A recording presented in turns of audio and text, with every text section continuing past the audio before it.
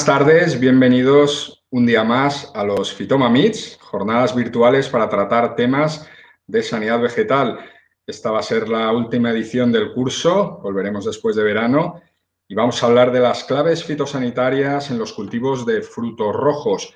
Esta vez, en colaboración con el IFAPA de Andalucía, vamos a tratar problemas agronómicos y fitosanitarios asociados al cultivo de frutos rojos la idea es divulgar, precisar y compartir soluciones que resulten de interés tanto para técnicos y agricultores implicados en este sector.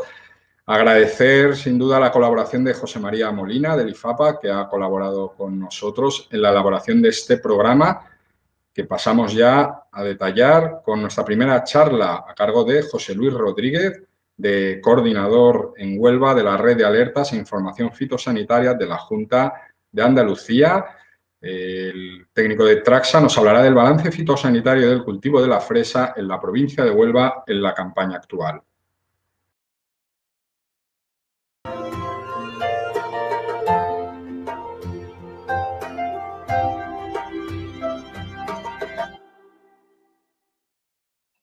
Buenas tardes, mi nombre es José Luis Rodríguez, soy el coordinador de la RAIF, de la Red de Alerta e Información Fitosanitaria en la provincia de Huelva. Esta tarde les voy a exponer lo que ha sido el balance fitosanitario del cultivo de la fresa en la provincia de Huelva durante la campaña 2020-2021. La superficie de fresa durante este, esta campaña ha abarcado unas 6.700 hectáreas. Comentarles que la mayoría están en producción integrada. La fuente de información en la que me he basado para hacer este balance es la de los muestreos de los técnicos de producción integrada. Para tener una referencia con respecto al resto de frutos rojos, pues comentarles que arándano esta campaña ha rondado los 3.300 hectáreas, la frambuesa ha rondado las 2.000, casi 2.300 hectáreas y que en mora tenemos plantadas en Huelva 145 hectáreas. El inicio de la plantación de fresa eh, se realiza a finales de septiembre, principios de octubre y el periodo de recolección va desde diciembre de 2020 a mediados de mayo del 2021. Cada vez hay más variedades más tempranas, extra tempranas, y eh, este, esta campaña, por ejemplo, hemos llegado a tener en el mercado pues, eh, fruta eh, de manera anecdótica a mediados de, de noviembre.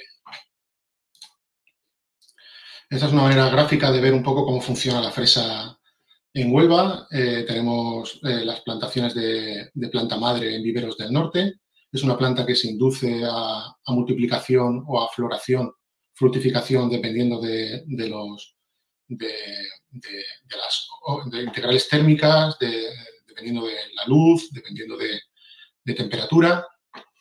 Por lo, tanto, en, torno a, a septiembre empieza a recogerse toda esta, esta maraña de, planta madre de fresa se, divide por plantitas en almacenes y mientras tanto aquí en la provincia de Huelva, pues eh, durante el periodo estival, pues se realizan las labores de preparación del terreno, se aloma, se, se realizan los caballones, finalmente se plantan las plantitas, en noviembre se cubre el cultivo y ya, como hemos dicho, a, eh, a, principios de diciembre, finales de noviembre, principios de, diciembre, tenemos las primeras floraciones, primeras fructificaciones.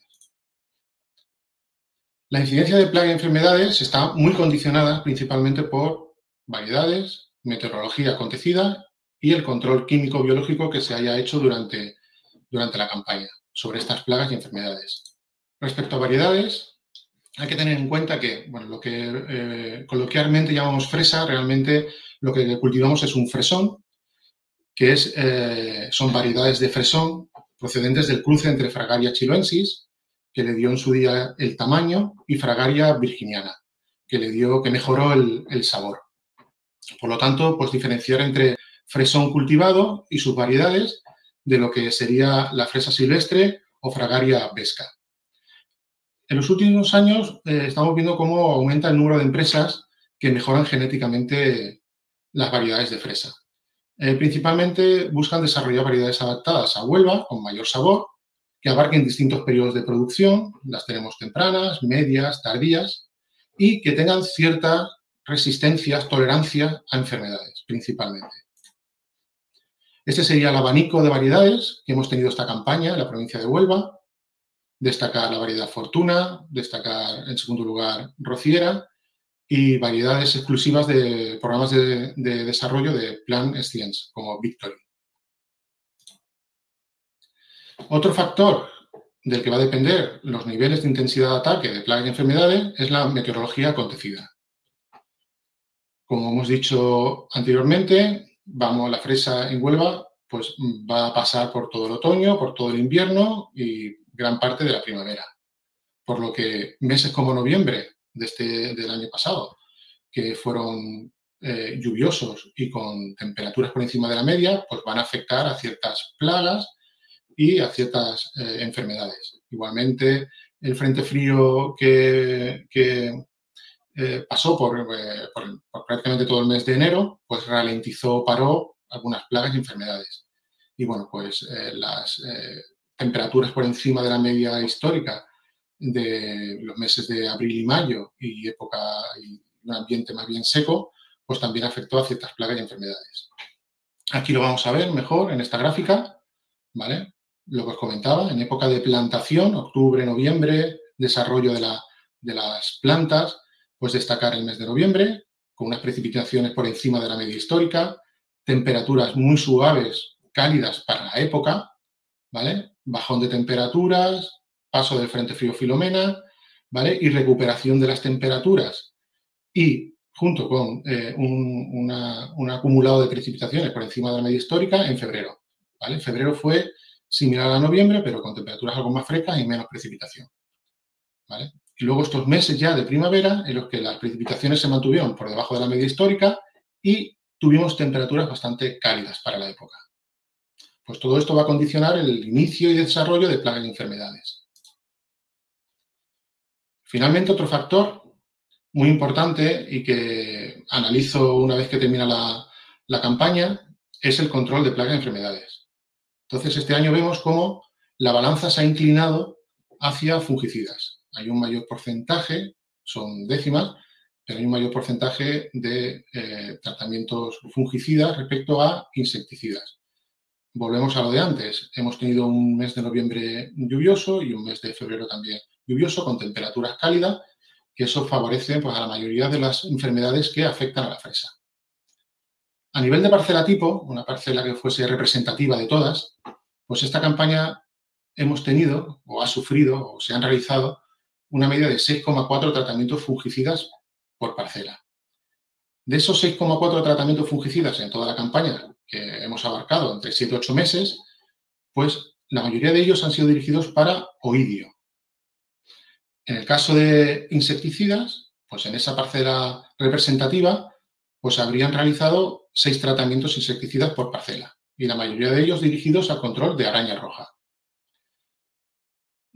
Este valor lo que nos indica es, comparándolo con otros años, con años anteriores, es la presión que hemos tenido. Este año hemos tenido oído igual que el año pasado y que el anterior, pero posiblemente este, este valor haya sido mayor que el del año pasado, o el de hace dos, o el de hace tres, pero eh, las condiciones eh, ambientales han sido favorables para el oidio y hemos tenido que mm, recurrir a un mayor número de tratamientos antioidio para mantener eh, a raya, para controlar los daños por, por, oidio. Entonces nos da una idea de la presión de plagas y enfermedades.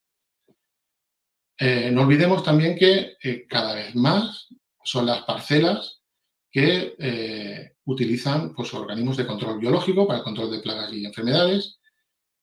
Predominan la suelta de insectos eh, y ácaros fitófagos. De estas sueltas de insectos auxiliares, pues destacar eh, eh persimilis para control de araña roja. Le sigue las sueltas de Aphidus colemani para el control de pulgones. Y le sigue Oriole ribatus para el control de trips sobre una parcela tipo representativa, pues se han hecho casi 13 sueltas por parcela. Si las sueltas empiezan a hacerse eh, normalmente ya en el mes de enero, cada vez intentan eh, hacer sueltas más tempranas, pues tenemos a, suelta por semana. estaremos en enero, febrero, marzo o, febrero, marzo, abril. Estaremos durante unas, unos tres meses soltando semanalmente eh, insectos o ácaros fitófagos. Aquí hay una, foto de, sueltas de, de, en este caso. Aquí tenemos una larva de, de Orius, fitosigulus, depredando ácaro, araña roja, perdón. Bueno, pues entrando en materia, las principales plagas que afectan al cultivo de la fresa en Huelva son la araña roja, lepidópteros, heliotis, espodópteras, plusias, pulgones, principalmente Afibusipi. En los últimos años, en laboratorio pues, se han identificado otras especies como Cytosiphum frangofoli, Acetosiphum rogersi y Macrosiphum euphorbiae. Y no olvidemos tampoco trips. En el caso de enfermedades, las más destacadas son antragnosis y mildio aguado en frutos, podredumbre gris en fruto, podredumbres de raíz y cuello, Phytophthora, Coletotricum, Verticillium, en los últimos años Macrofamina faseolina y oidio. Bueno, vamos a ver la incidencia ahora plaga a plaga y enfermedad por enfermedad. Araña roja, comentar que es un, es un ácaro que se está muy bien aclimatado esta zona, soporta altas temperaturas, se refugia en el envés de la soja, produce unos hilos de seda, y produce, digamos, un microclima eh, en el envés que, lo hace pues, desarrollarse y aguantar cuando las condiciones son adversas. Esta ha sido la gráfica de incidencia de, este, de esta campaña. Comenzamos en noviembre, finalizamos en mayo de ella, destacar este pico en noviembre. Es una plaga que cada vez coloniza antes y se instala antes en el cultivo. La hemos ya instalada pues, pues en el mes de noviembre, iniciando ya el cubrimiento de los túneles con el plástico. Hemos dicho anteriormente que eh, noviembre se destacó por precipitaciones y una temperatura por encima de la media histórica. Pues ese grado de humedad relativa en el interior del túnel y, esas temperaturas pues hicieron que eh, rápidamente se, instalara en el cultivo y tuviésemos picos importantes de, hoja con presencia de araña. Se realizan tratamientos acaricidas, las temperaturas también disminuyen, también disminuye su, presencia, pero principalmente eh, se, realicen ya los primeros tratamientos para controlar su población. Y este es el dibujo, esta curva, que vamos a tener todos los años. Será mayor o menor dependiendo de, su incidencia, dependiendo de, las condiciones meteorológicas y de los tratamientos realizados. Pero es ascendente. En diciembre, con el paso del, Frente Frío Filomena, Filomena disminuyó, se, ralentizó y rápidamente en febrero, aunque se produjo, eh, aunque, hubo un registro de, precipitaciones, pero las temperaturas fueron por encima de, de la media histórica y rápidamente aumenta ¿vale? Y se instala en el nivel de intensidad de ataque moderado. Realmente estamos, estamos en, desde a partir de, enero, estamos con niveles de intensidad de ataque moderados. En abril, las altas temperaturas eh, que ya se alcanzan dentro de los, túneles eh, le afectan a su desarrollo, pero especialmente eh, lo que hace también que disminuya esta incidencia es la ya instalación de, una fauna auxiliar potente que es capaz ya de, controlarla. Este año hemos tenido, eh, tomando desde noviembre hasta mayo, hemos tenido una media del 10,6% de, hojas con presencia, que es similar a las últimas seis campañas. Pasa que el dibujo de, y la incidencia de cada campaña pues, va a ser eh, diferente según las condiciones meteorológicas que se hayan registrado. Tema de orugas de lepidópteros. Destacar estos tres meses de otoño, que es durante la, época de plantación y desarrollo de las primeras hojas de la planta, es un periodo crítico respecto a orugas, ya que eh, estas orugas eh, lo que van a, se van a alimentar, como tienen como las plantas eh, vienen con tres, cuatro hojitas, se van a alimentar del, del cogollo, digamos, de, la planta, donde están todas las yemas que van a dar en un futuro hojas y las fructificaciones. Entonces, eh, aquí le dicen los agricultores y técnicos que las dejan ciegas o parcialmente ciegas. Terminarían con la producción de esa, planta. De ahí que tengamos unos, unos, umbrales para esta época pues poco tolerantes y, mm, como vemos en la gráfica, durante este periodo se ha situado este año y normalmente viene siendo así en niveles de intensidad de ataque moderados. Entonces, este año hemos tenido un 9,8% de, plantas con daños nuevos y presencia de larvas. Es algo menor que la media histórica de las últimas seis campañas. Hay que tener en cuenta que en enero el paso del, Frente Frío Filomena pues le, afectó y este, aquí se registraron unos índices muy, muy bajos.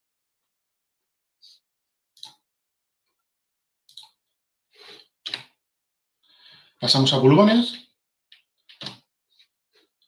Pulgones, eh, al igual que con araña roja y como hemos visto con, orugas, le ha favorecido mucho esta campaña esas temperaturas por encima de la media en noviembre. Rápidamente ha colonizado el cultivo, se ha situado en él, se, se realizan tratamientos insecticidas para su control poblacional, disminuye, disminuye también paralelamente a las temperaturas, se mantiene ralentizado en enero, incluso disminuye algo, y en febrero, en cuanto suben las temperaturas por encima de las, de las medias históricas, pues se sitúa con valores de incidencia cercanos al nivel de intensidad de ataque moderado. Eh, igual que con ácaros, en abril, por, debido a las altas temperaturas que le afectan y a un buen establecimiento también de fauna auxiliar, pues eh, disminuye sus poblaciones, su incidencia y se mantiene, eh, esta campaña se ha mantenido en torno al 8% de plantas ocupadas durante abril y mayo. ¿vale? Pero destacar este pico que tenemos en noviembre, importante, que lo que representa es una colonización muy temprana, unas condiciones ambientales muy favorables para, para pulgones, para entrar y, establecerse en el cultivo. Respecto a campañas anteriores, hemos tenido una mayor incidencia, ¿vale? una media entre el periodo de noviembre a mayo, hemos tenido un 8% de plantas afectadas respecto a un 6,8% de las últimas seis campañas. TRIPS. Bueno, TRIPS es una plaga. Mm, eh, los umbrales de tratamiento son bastante tolerables a la presencia de TRIPS. Eh, vamos a tener los mayores problemas de TRIPS eh, al final de la campaña, con temperaturas ya más cálidas. Pero es importante señalar que se establece, tiene un óptimo para establecerse a partir de los 15 grados de media.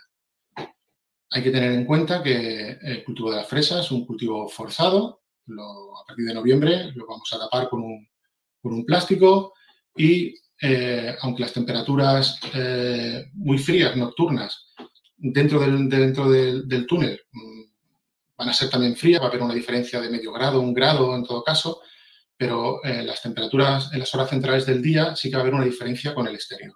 Entonces, en enero, aun habiendo tenido el paso del Frente Frío Filomena, al mediodía, en las horas centrales del día, sí que dentro de los túneles vamos a tener ya temperaturas próximas a, esos 15 grados de, óptimo de, TRIPS, por lo que ya empezamos a observar algunas, algunos, algunas flores eh, ocupados y algún, y algún fruto dañado por TRIPS.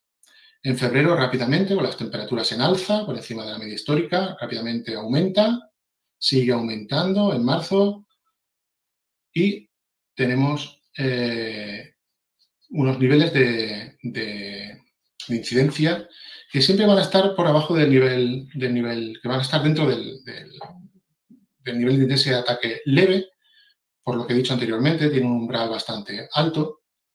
Y pues bueno, pues este año, pues eh, digamos que entre febrero y mayo, que son los cuatro meses donde la incidencia eh, es mayor, vamos a tener una media de 23,8% de flores ocupadas respecto a las seis últimas campañas, pues es algo superior. Lo achacaremos a estas temperaturas de febrero, que favorecieron su, multiplicación y que las generaciones se, se acortaran.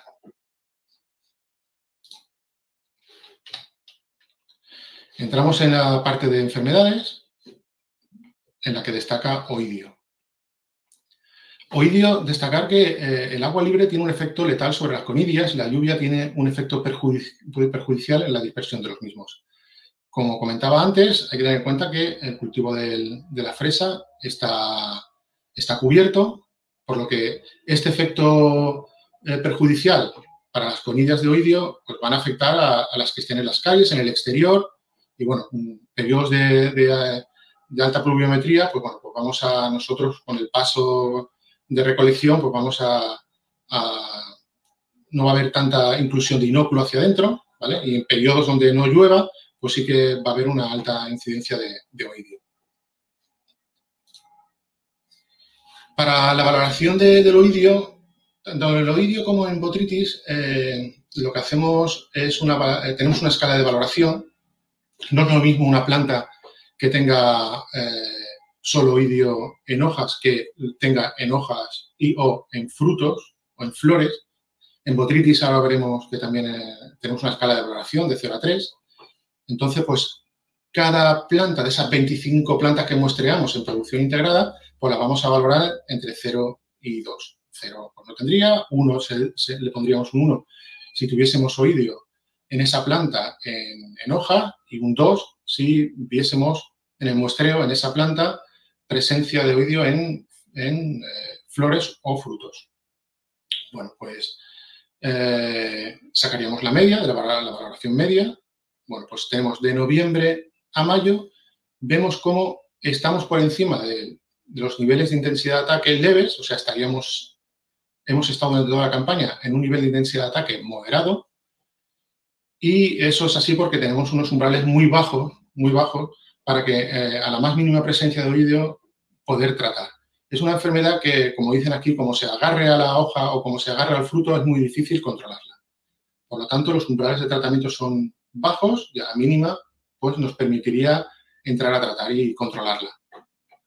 Si no, como digo, eh, a partir de febrero, marzo, abril sería complicado despegar ese oído de la planta.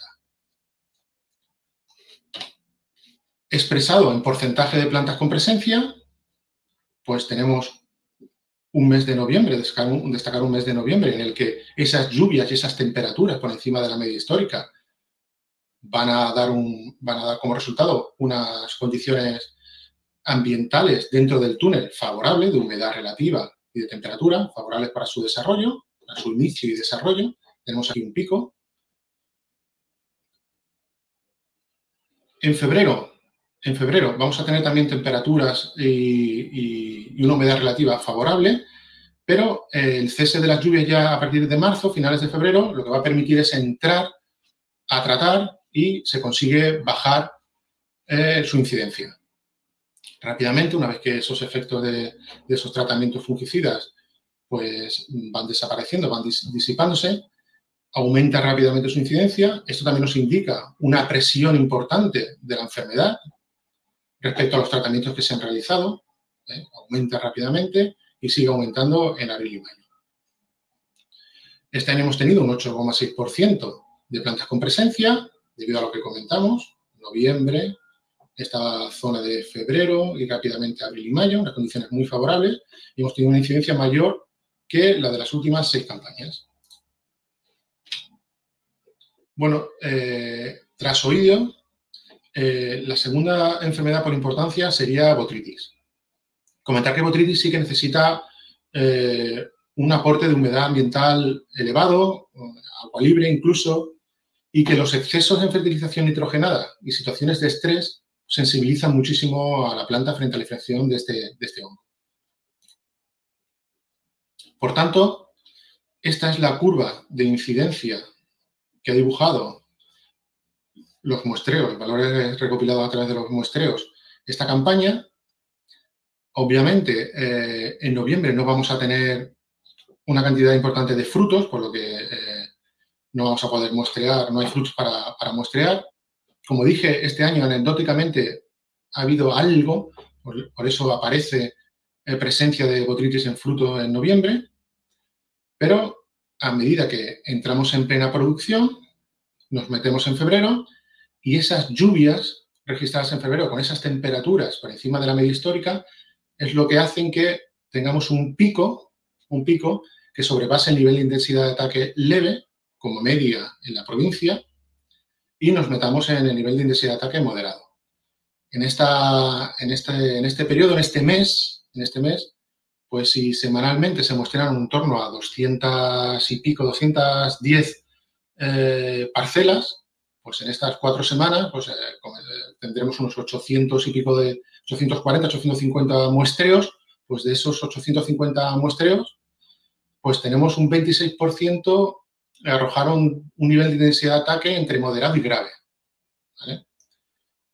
Rápidamente, pues se recurre a tratamientos antibotríticos, preventivos y curativos, ¿vale? Bajamos, se consigue bajar su incidencia y una vez que cesan las lluvias y aumentan las temperaturas, pues eh, la incidencia de botritis pues, va disminuyendo. Aquí, como dije en el caso de oidio, la valoración que hacemos planta a planta va de 0 a 3. ¿vale? Pues 0 ausencia, 1 con una, con una flor o fruto con, afectado por botritis, 2 con dos flores o frutos afectados por botritis y 3 con tres o más flores o frutos afectados por botritis. ¿Vale? O sea, destacar cómo las lluvias de febrero afectaron a, afectaron a su evolución. Empezaron las lluvias ya a finales de, enero, principios de febrero, y cómo aumenta.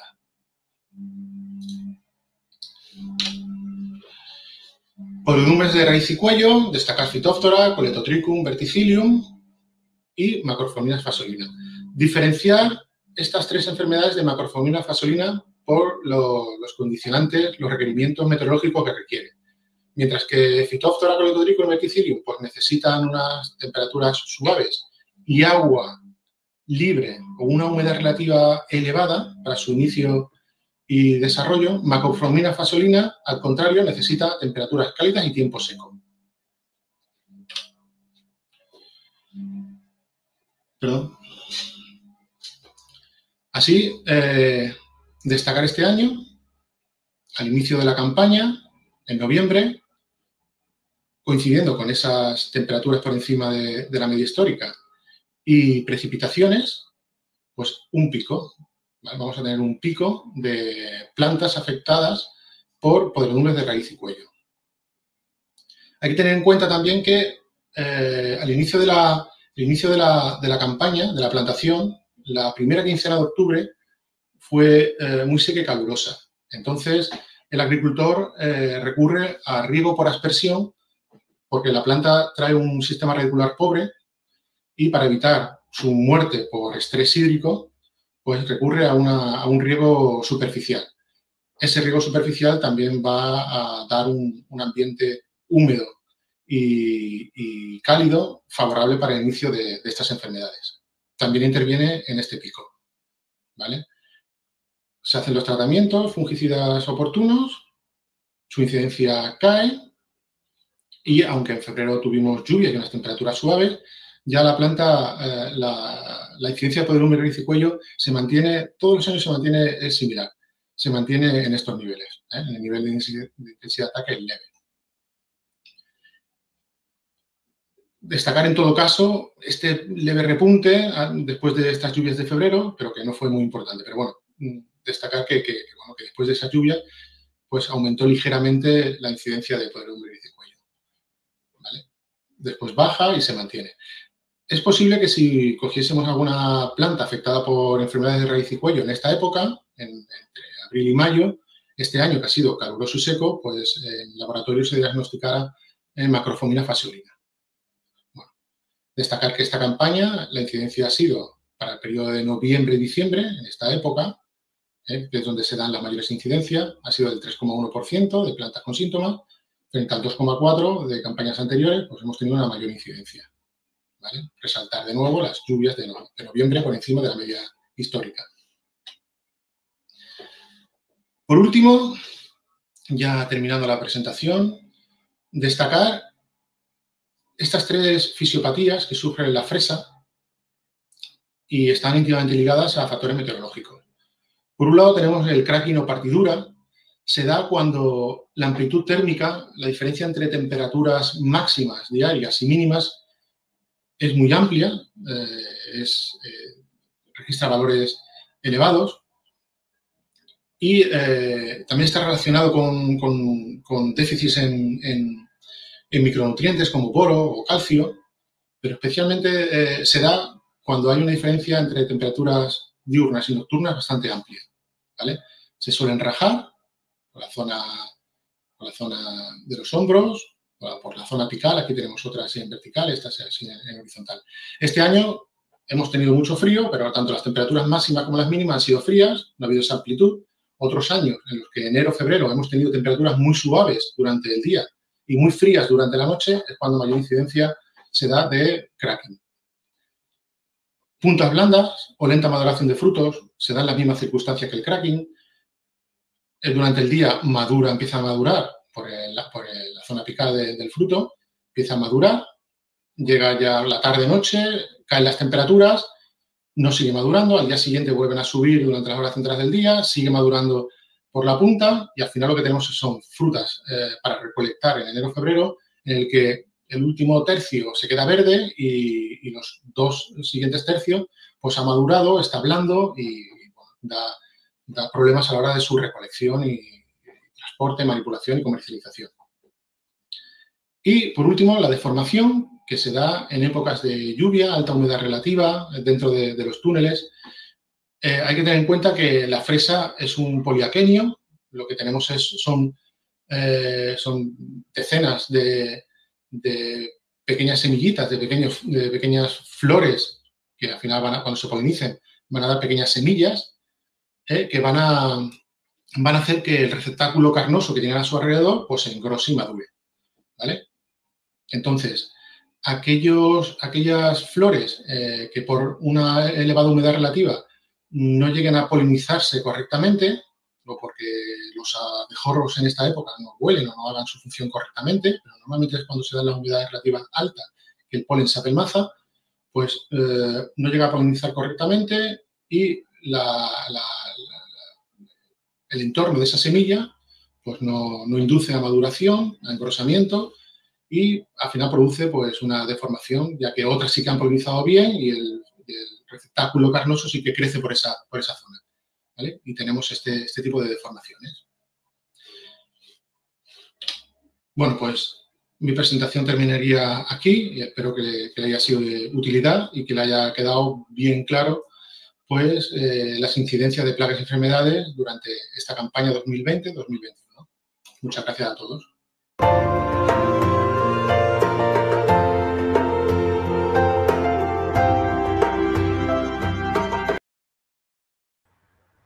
Muchas gracias, José Luis, que no podrá estar en el coloquio con el que siempre cerramos los Fitoma Meets, sí el resto de ponentes invitados. Así que eh, os animamos a que participéis formulando preguntas en la plataforma para que a la finalización de las charlas en el coloquio podamos ir trasladándoselas a todos los ponentes. El siguiente es eh, Tani Fernández, técnico especialista en control biológico de plagas de Copper Biological System, que actualmente desempeña la labor de asesoramiento técnico y de mejoras en el control biológico de frutos rojos. Y de eso nos hablará, de las nuevas estrategias de Copper para el control biológico de plagas en frutos rojos. Cuando quieras, Tani. Correcto. Hola, buenas tardes a todos. Es un placer poder estar aquí con ustedes esta tarde y muchas gracias por la invitación. Hoy voy a compartir algunas novedades y mejoras en control biológico de berries y siguiendo este pequeño índice que, comparto con ustedes. Eh, voy a hablar eh, mejora en control biológico de fresa, en el que hablaré de pirepital, es un aliado de control de araña roja y que seguramente todos conozcáis. Eh, también daré alguna información sobre novedades en control biológico de frambuesa, en este caso con una estrategia preventiva. Eh, no haría falta que, tuviésemos eh, plaga en el cultivo para poder empezar a, hacer sueltas de auxiliares. Y con esta estrategia, aparte de la araña, como ya después comentaré, también tenemos la opción de controlar tarsonemos. También hablaré sobre mejora en control biológico en arándanos. Eh, una de las estrategias preventivas es contra el pulgón, que como sabemos es una de las plagas más importantes. Eh, hablaré también sobre la cochinilla, cada vez más extendida en este cultivo, eh, cotonet, y también sobre control de trips. También eh, comentaré sobre el control biológico, mejoras en, en, mora, en este caso para el control de Red Berry Mite, que es una plaga que también últimamente se está, se está dando más en nuestra zona. Y bueno, una leve pincelada de nuevas plagas emergentes en, en la zona, en los cultivos berries, que últimamente también están apareciendo. Y también hablaré sobre el control de Drosophila Suzuki. Eh, sé que esta tarde se va a hablar sobre ella y bueno, eh, daré un poco de información sobre cuál es el control que Copper ejerce sobre, sobre esta plaga.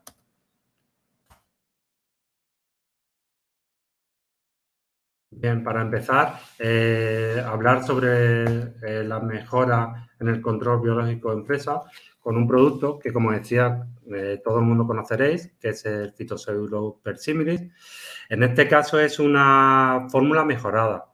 Es una fórmula mejorada en el que conseguimos un mejor control en foco. Esto se debe a que hay una mezcla de, poblaciones más diversas en lo que es eh, esta fórmula mejorada.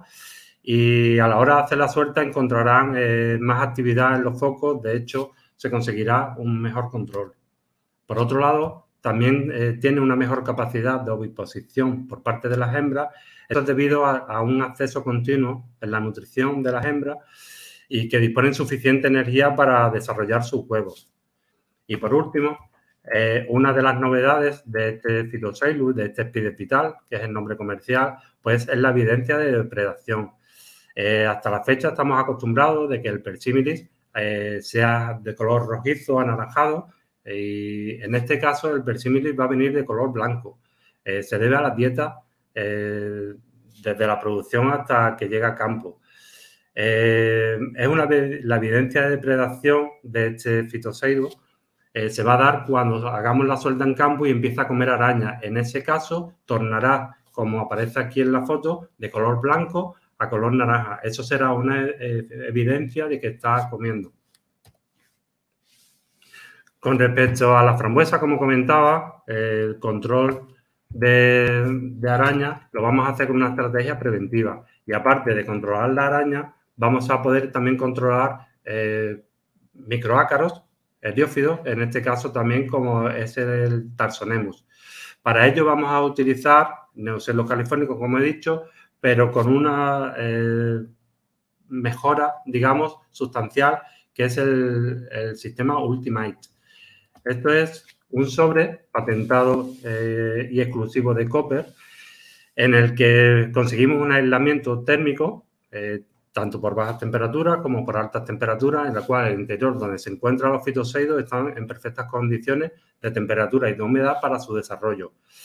Este sobre actúa como una biofábrica, una pequeña biofábrica, que lo que conlleva es a más rendimiento por sobre. Este sobre tiene un, digamos, partimos de una cantidad de 100 fitoseidos por, por sobre, pero esta biofábrica consigue llegar a rendimientos mucho más altos, como comentaré un poquito más tarde. Este sobre es ecológico, es 100% biodegradable y compostable. Como comentaba, las mejoras que nos aporta este sobre es que llegamos a conseguir un, 100%, un 107% perdón, por ciento más de producción de ácaros. El sobre que se venía trabajando hasta la fecha era un sobre de papel en el que también partíamos de 100 individuos, pero lo máximo a lo que se llegaba eh, a salir de cada uno de los sobres era en torno a 250 fitoseidos. En este caso, con este sistema Ultimate, hemos conseguido que se acerque más a 600 individuos por sobre, con lo cual pues, el rendimiento mejora sustancialmente. Otra de las ventajas que, que conseguimos con este sistema es, un 28% más de duración en tiempo de salida. Con el sobre que se venía trabajando eh, hasta la fecha, es un... Eh, tardaba, digamos, una semana en el pico de salida para que los, para que los bichos salieran y eh, se alargaba después la caída, se alargaba en torno a 5 o 6 semanas de salida como máximo. En este caso, el plazo de salida, digamos, lo tomamos en 3 semanas. Eh, a partir de ahí, la caída también de la salida empieza a bajar, pero como vemos en, esta gráfica, eh, puede alcanzar hasta 8, incluso 10 y 12 semanas de efectividad del sobre. Eh, mejora sustancialmente con lo que se venía trabajando hasta ahora. Eh, con respecto a la mejora en protocolo de arándanos, el control de pulgones, que como decía, una de las plagas más importantes, pues tenemos que irnos a un sistema preventivo. El motivo de este sistema preventivo es porque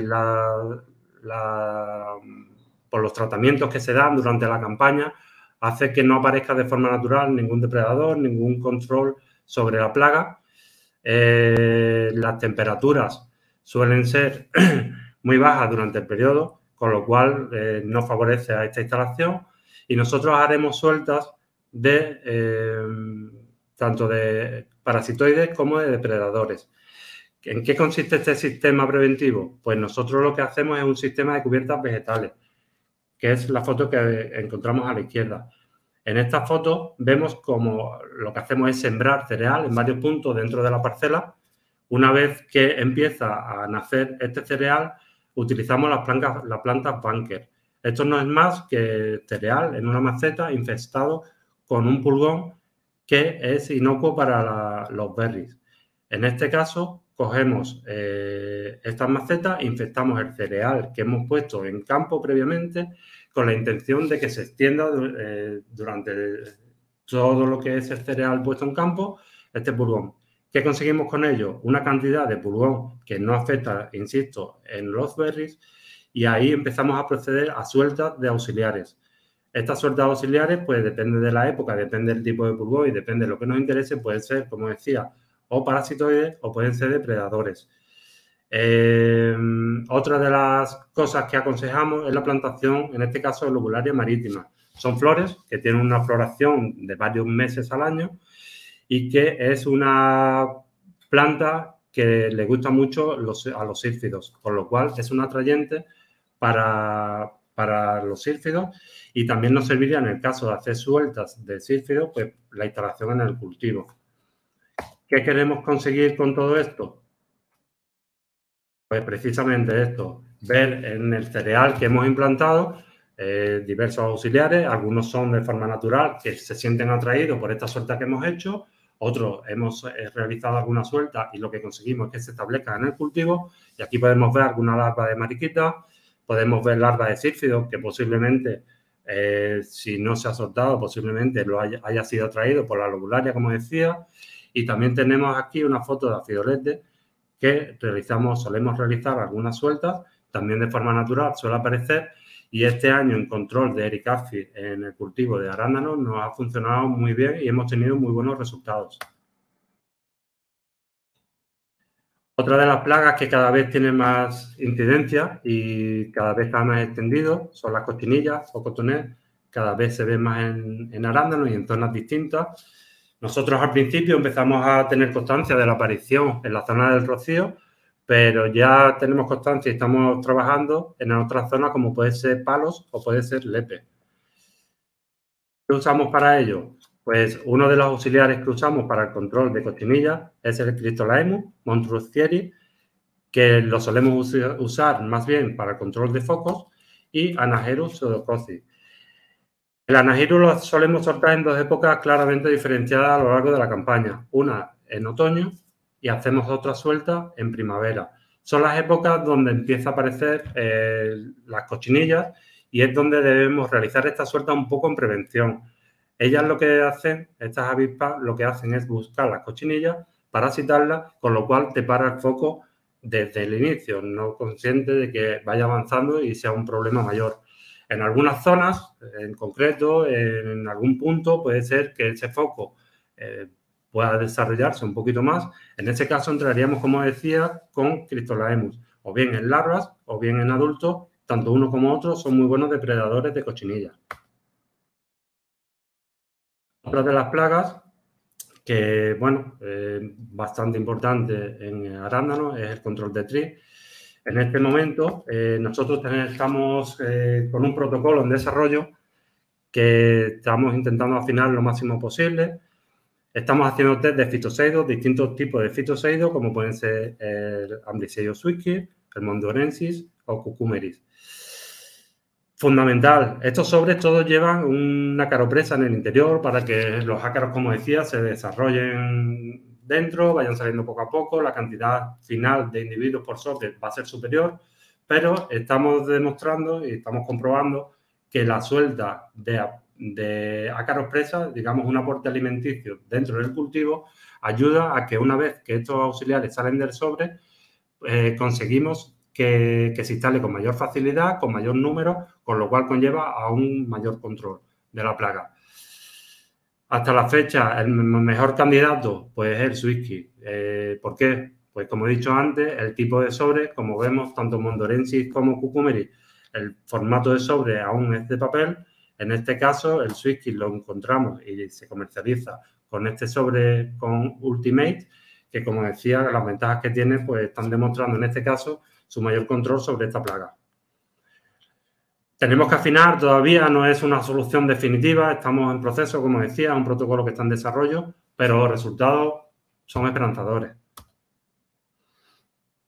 En el control biológico de mora, es comentar que una plaga que cada vez está más incidente es el Red Berry Mite, Acalitus exige. Es una plaga que es un microácaro, un eriófido, que el invierno lo pasa en las yemas de la planta. Es un ácaro que no puede verse a simple vista, un ácaro muy pequeño que necesitamos de lupa. En campo no se puede apreciar que lo tenemos. ¿Qué ocurre con esto? Que el primer año en el que suele aparecer, eh, el agricultor, el productor, no es consciente de que le pueda, muchas veces ni conoce esta plaga y mm, cuando se da cuenta ya es tarde. Tiene la plaga ahí, no es consciente y cuando se da cuenta, pues se da cuenta aquí, en la maduración del fruto. ¿Qué ocurre? Que es una maduración irregular, con lo cual ese producto ya no es comercializable y bueno, ya vamos tarde. En esa altura ya no tiene solución esta fruta, con lo cual no, no se puede hacer nada. En este caso, si tenemos constancia de años anteriores, tenemos un histórico de que esta plaga ha aparecido en algunas zonas, eh, aconsejamos la utilización para su control de una mezcla de eh, Neuselius, californicus, el Pical Ultimate, que es el mismo que hemos utilizado para frambuesa, y de Swisky Ultimate. La combinación de ambos eh, está dando muy buenos resultados, no solo para este ácaro, sino que también, como estamos usando el, Californicus, nos sirve para control de araña en, este cultivo y la verdad que los resultados están siendo muy espectaculares. Una leve pincelada de plagas emergentes. Aquí podemos ver en arándano la Iceria purchasi, la cochinilla canarada. Eh, es frecuente ya verse en este cultivo. Anteriormente no se veía, era una plaga más de cítrico, pero actualmente incluso yo he llegado a ver algunas parcelas con una incidencia muy alta. Su control, su control lo hacemos con, con Rodolia cardinalis, como veis aquí, tanto larvas como adultos pueden aparecer de forma natural es difícil últimamente, cada vez más, eh, de verse de forma natural por tratamientos químicos que se dan en el cultivo, pero comentar que existe la posibilidad, está comercializado, Cooper lo comercializa y en caso de necesidad sería una opción para este control. Comentar también en las fotos de la derecha, eh, de todos he sabido que este año eh, ha aparecido en estos cultivos de berry una plaga de tris, un tris nuevo que no se veía en estos cultivos hasta la fecha, que es el Esciptotris auranti. Los daños que nos ha hecho prácticamente, creo que ha tocado todos los cultivos de berry, en especial la fresa, en el que los daños podemos ver en la fotografía de abajo, de la derecha, unos daños que, bueno, se asemeja un poco a lo que es eh, araña blanca, pero que están provocados por trips el control de tri, bueno, pues estamos en proceso de buscar una solución a este tipo de tri porque se ha dado en varias épocas de, durante el cultivo, ha aguantado frío, ha aguantado calor. Y bueno, una solución que han optado algunos productores es por la colocación de estas placas cromotrópicas de color azul que ha ayudado bastante al control de esta plaga. Y comentar también para el control de Drosophila Suzuki, eh, desde Copper, no es un control estrictamente biológico, digamos. Es un control más bien biotecnológico. ¿Cómo lo hacemos? Con trampas. Eh, son trampas eh, muy selectivas, especiales, con un atrayente, el Free Flight Attractant, producidos por Copper y se pueden usar de una forma de monitoreo o un trampeo masivo.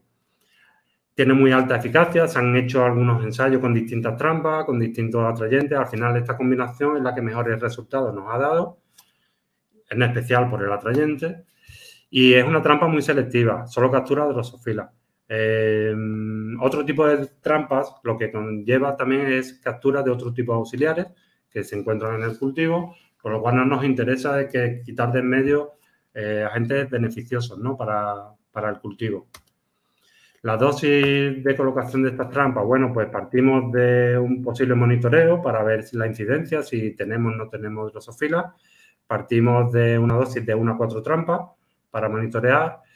En el caso de que queramos tener un control eh, sin saber o no tener constancia todavía de la aparición de, de, esta plaga, podemos ir a una dosis preventiva entre 10 y 20 trampas por hectárea.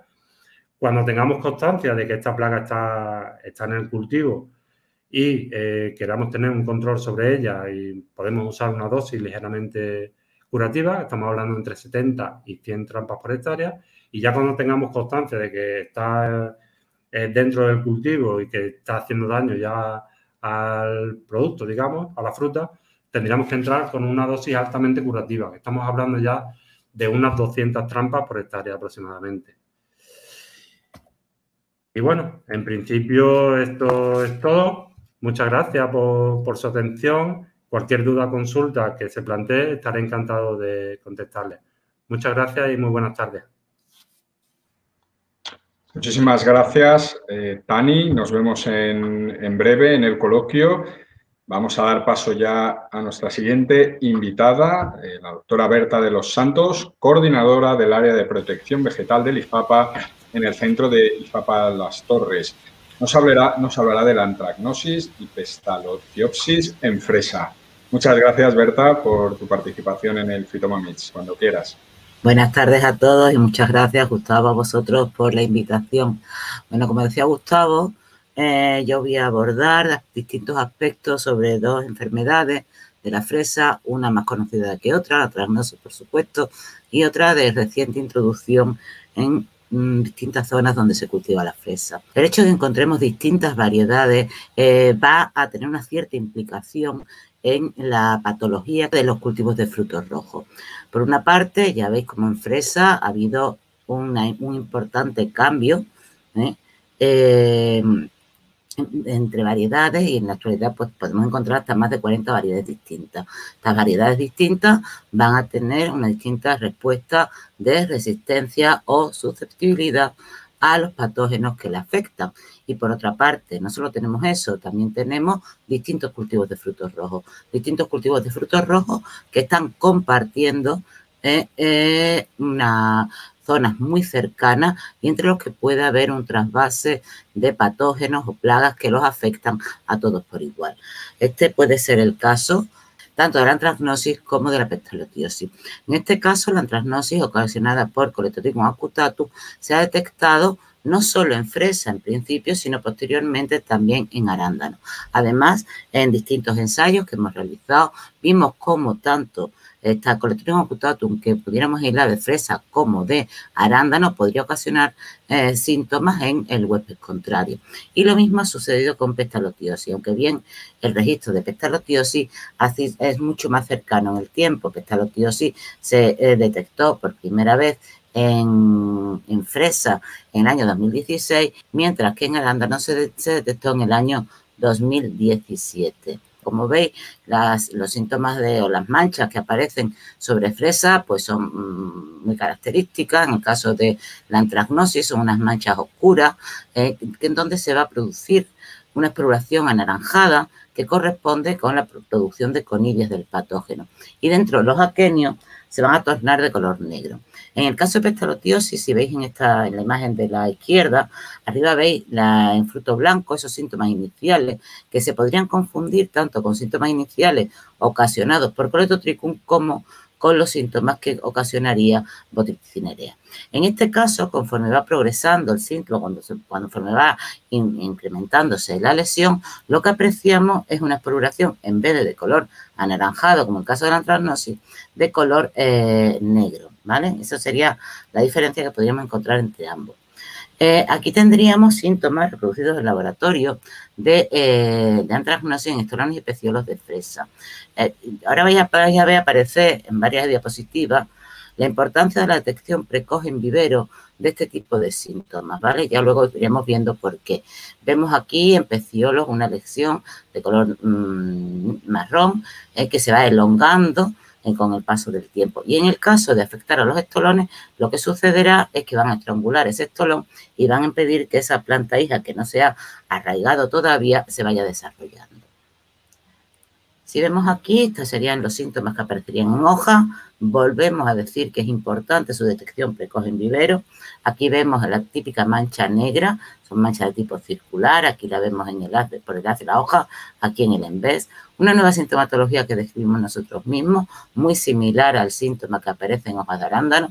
Y la que llamamos mancha irregular, una mancha de color marrón que se inicia en el ápice de la hoja y progresa en forma de V hacia el centro.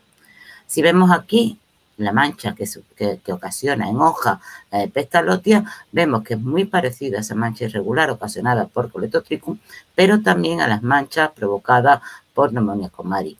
Lo que sí apreciamos aquí es que en el, sobre cuando esta, hoja vieja, esta, esta mancha se va haciendo más vieja, aparecen eh, unas esporas, unas masas de esporas de color negro que corresponde a esa esporulación del patógeno.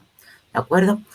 Tanto eh, coletotricum como pestalotia ocasionan podriumbre de corona y la posterior muerte de la planta, ¿vale? Esta sería, bueno, deciros, por supuesto, que en el caso de podriumbre de corona nunca jamás podremos de visu saber de qué patógeno estamos hablando, siempre será necesario aislamientos de tejido y determinar cuál es el agente causal de la muerte de esa planta, como vemos aquí, porque los síntomas van a ser muy similares en cualquier caso, sea Phytophthora, sea verticillium, sea macrofomina, y aquí veríamos, por ejemplo, los síntomas ocasionados por especies de pestalotiosis.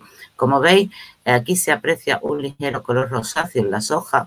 La necrosis tiene un ligero también tono más rosáceo, menos rojizo. Y lo que sí provoca es un escaso desarrollo del sistema eh, radicular de la planta, lo que impide que las plantas que lo están sufriendo acaben de... Eh, desarrollarse correctamente eh, después del trasplante.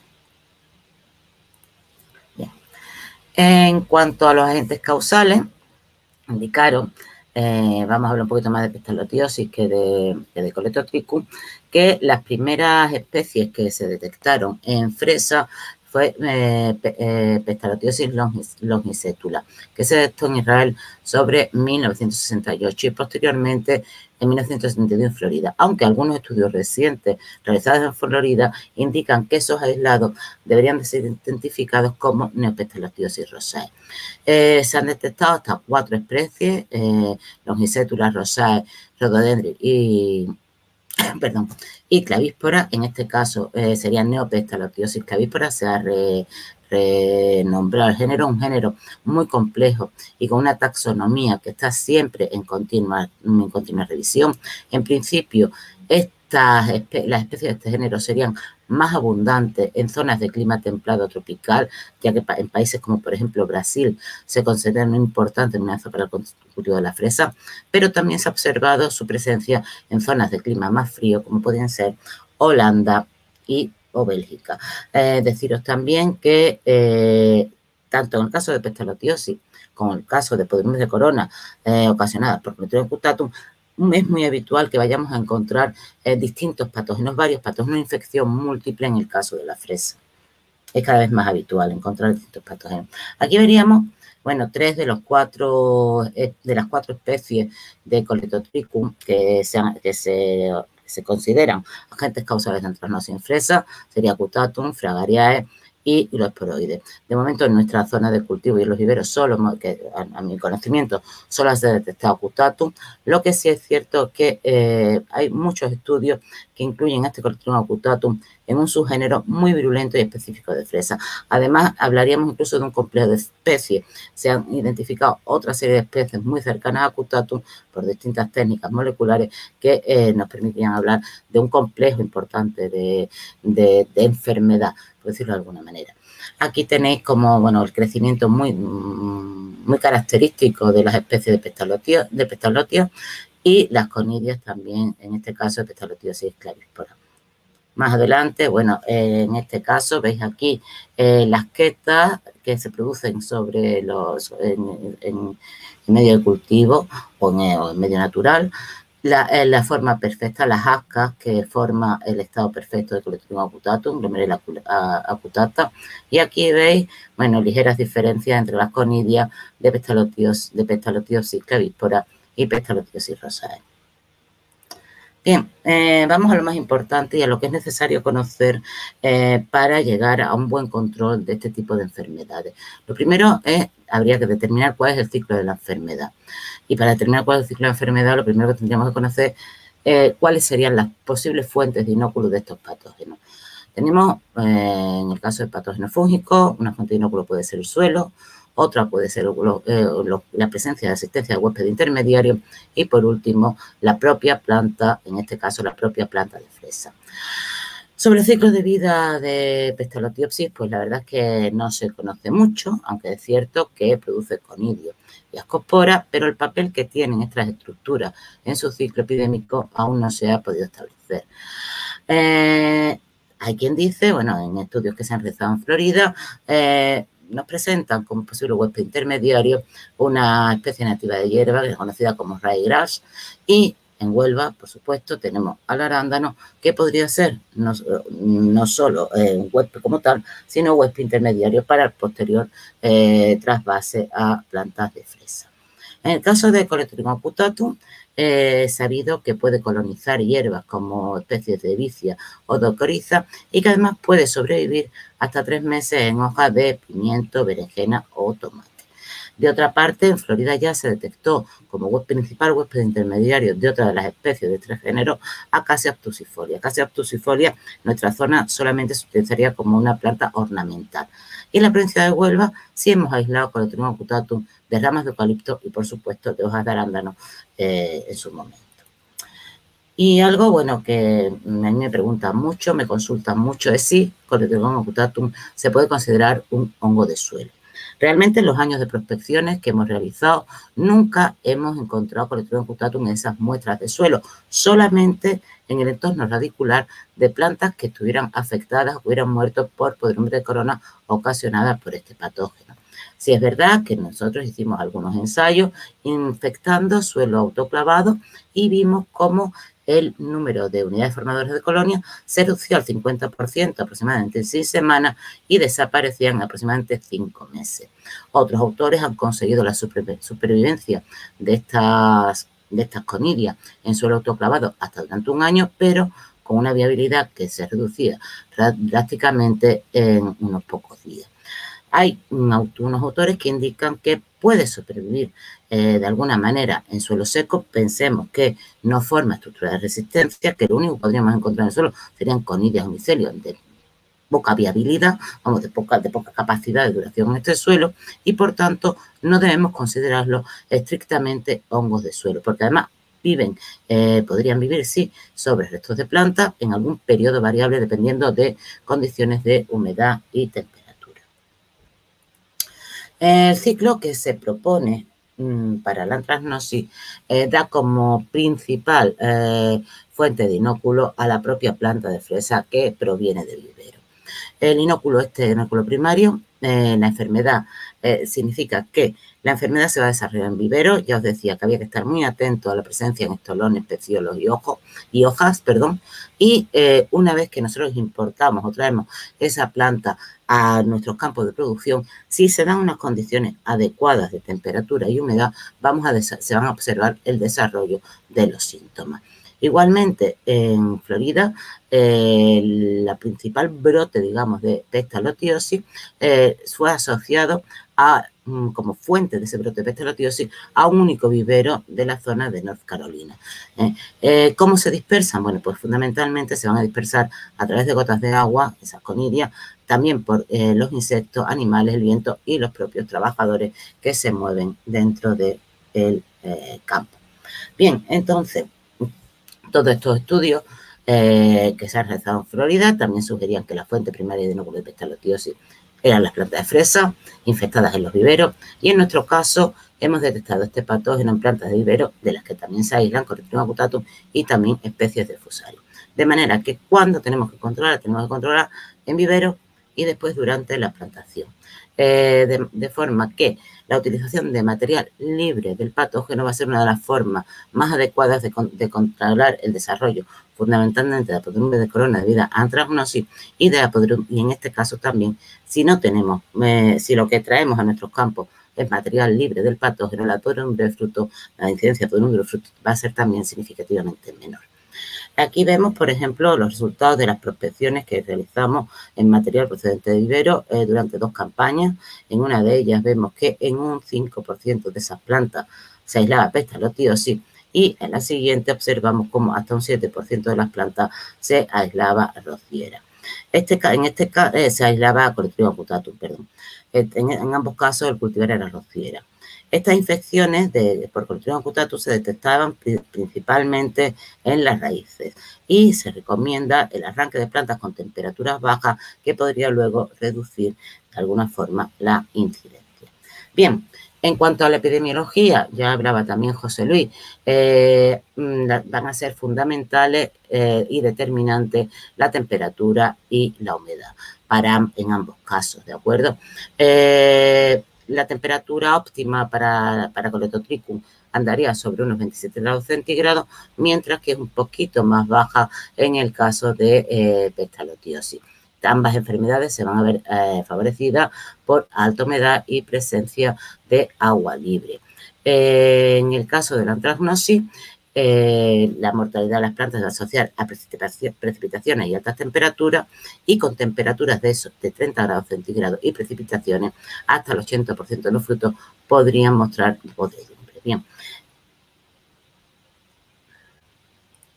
En cuanto a las medidas de control, como hemos dicho y sigo repitiendo, en estos casos las medidas de control deben comenzar en los viveros y durante la plantación. Eh, ¿Qué se recomienda? Bueno, primero, uso del material, de material vegetal sano, es decir, si nosotros, como os he dicho antes, no introducimos esta enfermedad en los campos de producción de frutos, los problemas van a ser mucho menores. Uso de variedades resistentes cuando estén en disposición y aplicación de tratamientos técnicos a las plantas previo a la plantación. Sí, el desarrollo de tratamientos térmicos eh, se puede aplicar, reduce en cierta manera la incidencia fundamentalmente de coletotricum, pero no es aconsejable utilizarlos en campos de producción de frutos, ya que se va a producir un importante retraso en el crecimiento de las plantas que puede afectar posteriormente a la producción. Eh, como el agua libre o las salpicaduras son capaces de transmitir el ambos patógenos, las comidas de ambos patógenos, se debe de limitar o minimizar los riesgos por, por aspersión. Y, por supuesto, si es posible, eliminar y quemar las partes afectadas. Eh, también se recomienda la desinfectación de suelo, pero no por el hecho de que sean patógenos de suelo, sino para prevenir la aparición posterior de hierbas que pudieran servir como reservorio a estos patógenos y aplicación de fungicidas, por supuesto, pero siempre con precaución. Fundamentalmente, ya se ha observado cómo eh, un exceso, un uso excesivo de estrobilurina en los viveros pueden provocar el desarrollo de resistencia en los campos de producción de frutos. Eh, también podemos utilizar variedades resistentes y, para mí es fundamental que el desarrollo de esos cultivares resistentes sea uno de los principales objetivos de los programas de mejora. Aquí vemos en ensayos que hemos ido realizando a lo largo de los años un histórico sobre resistencia de variedades a antragnosis. Podéis ver que la variedad más resistente resultó en la variedad Florida Fortuna. Eh, deciros que el hecho que una variedad sea resistente a un patógeno no quiere decir que sea podría ser resistente a todo el abanico de patógenos al que de enfrentarse. Por ejemplo, mm, todos conocido que Florida puede ser bastante susceptible a Phytophthora, aunque es de todas las ensayadas la más resistente a antragnosis. Aquí tenéis también un trabajo que hicimos utilizando eh, eh, variedad, eh, perdona, fresa silvestre procedente del banco de germoplasma de, que se encuentra localizado en el centro IFAPA de Málaga. Y como podéis ver, encontramos como Fragaria virginiana y Fragaria moscata resultaban más resistentes cultivares comerciales o que otros eh, otras especies silvestres podrían ser utilizadas de esta forma en eh, proyectos de mejora de, eh, para la resistencia a Aquí vemos, nosotros aquí en España sí hemos trabajado algo viendo algunas inoculaciones artificiales con pestalotios y clavíspora, pero no podemos poder determinar que sea una variedad más resistente que otra. Simplemente deciros que todos los, que los cultivares que nosotros evaluamos, que fueron Radiance, Splendor y Sabrina, fueron susceptibles, al igual que ocurrió en este ensayo realizado en Florida, donde todas las variedades que utilizaron fueron más o menos susceptibles a la enfermedad. En el caso, en caso creo que de Brasil, eh, detectaron que Dover fue más tolerante que otras variedades y que Tudla presentó una respuesta intermedia. Este tipo de cultivares como Mailing Centenary eh, que se utilizó en un trabajo, creo que holandés, resultó el más resistente. Por supuesto, no es uno de los cultivares que nosotros utilizamos aquí. Aquí veis el resultado. Bueno, el resultado, esto fue un ensayo de variedades realizado en todas las RAEA eh, que se, suele realizar de TIFAPA. Y aquí veis por distintas variedades la incidencia de, distintos patógenos fúngicos. En rojo aparece el porcentaje de plantas de las que se aislaba macrofomina faseolina, ves que la más abundante prácticamente, aunque hay, hay variedades como Flavia, que en su mayoría estaban afectadas por pestalotiosis, o, o marquí, en su mayoría afectadas por antragnosis, en un, en un ensayo variado. En cuanto al control químico, bueno, eh, sabéis que cada día tenemos menos productos químicos a nuestra disposición eh, y que eh, muchos de ellos, bueno, pues mm, los podemos usar, pero en, condiciones muy limitadas. Cada vez quedan menos, ¿no? en el caso de la antrasnosis, nosotros, pues mi tesis doctoral ya hace unos pocos de años, lo que observamos fue que los tratamientos mediante inmersión de la planta en solución de fungicida antes de la plantación fueron efectivos en el control de la, de la podredumbre corona provocada por antracnosis, siendo, estando entre aquellos, entre los más, eficaces, diabendazol, carbendazima y bitertanol. Propiconazol, aunque fue bastante eficaz, sí tuvo, bueno, resultó bastante eficaz, pero tuvo efectos fitotóxicos a las dosis utilizadas. Otros autores, bueno, fundamentalmente, ¿qué se va a recomendar para el control de, eh, de de la especie de Coletrichum en fresa? Piraclostrobin, mezcla de piraclostrobin con, con vocalida, ciprodonil más azocitrobin, piraclostrobin, captan, fenexanida o captan solo. Todos estos productos pueden ser aplicados, eh, pueden, ser, pueden ser efectivos y eh, se recomienda incluso también este tipo, tipo de técnica que es la inmersión de la planta en preplantación, nunca durante más de 5 minutos y no almacenando las plantas por más de 12 horas después de la aplicación. Medidas culturales, lógicamente, eliminar las plantas afectadas o las partes afectadas de la planta, y eh, por otra parte, eh, la recomendación de estos tratamientos en agua caliente, pero solo en plantas de vivero. También algunos autores nos indican que, eh, que también la susceptibilidad de las plantas a colectivo occultato se incrementa con, altos niveles de nitrógeno, especialmente en forma amónica, siendo más susceptible entonces, eh, siendo más susceptible que las plantas, no sí que las plantas crecidas en suelos con bajos niveles de nitrógeno o altos niveles de nitrato cálcico. Bien.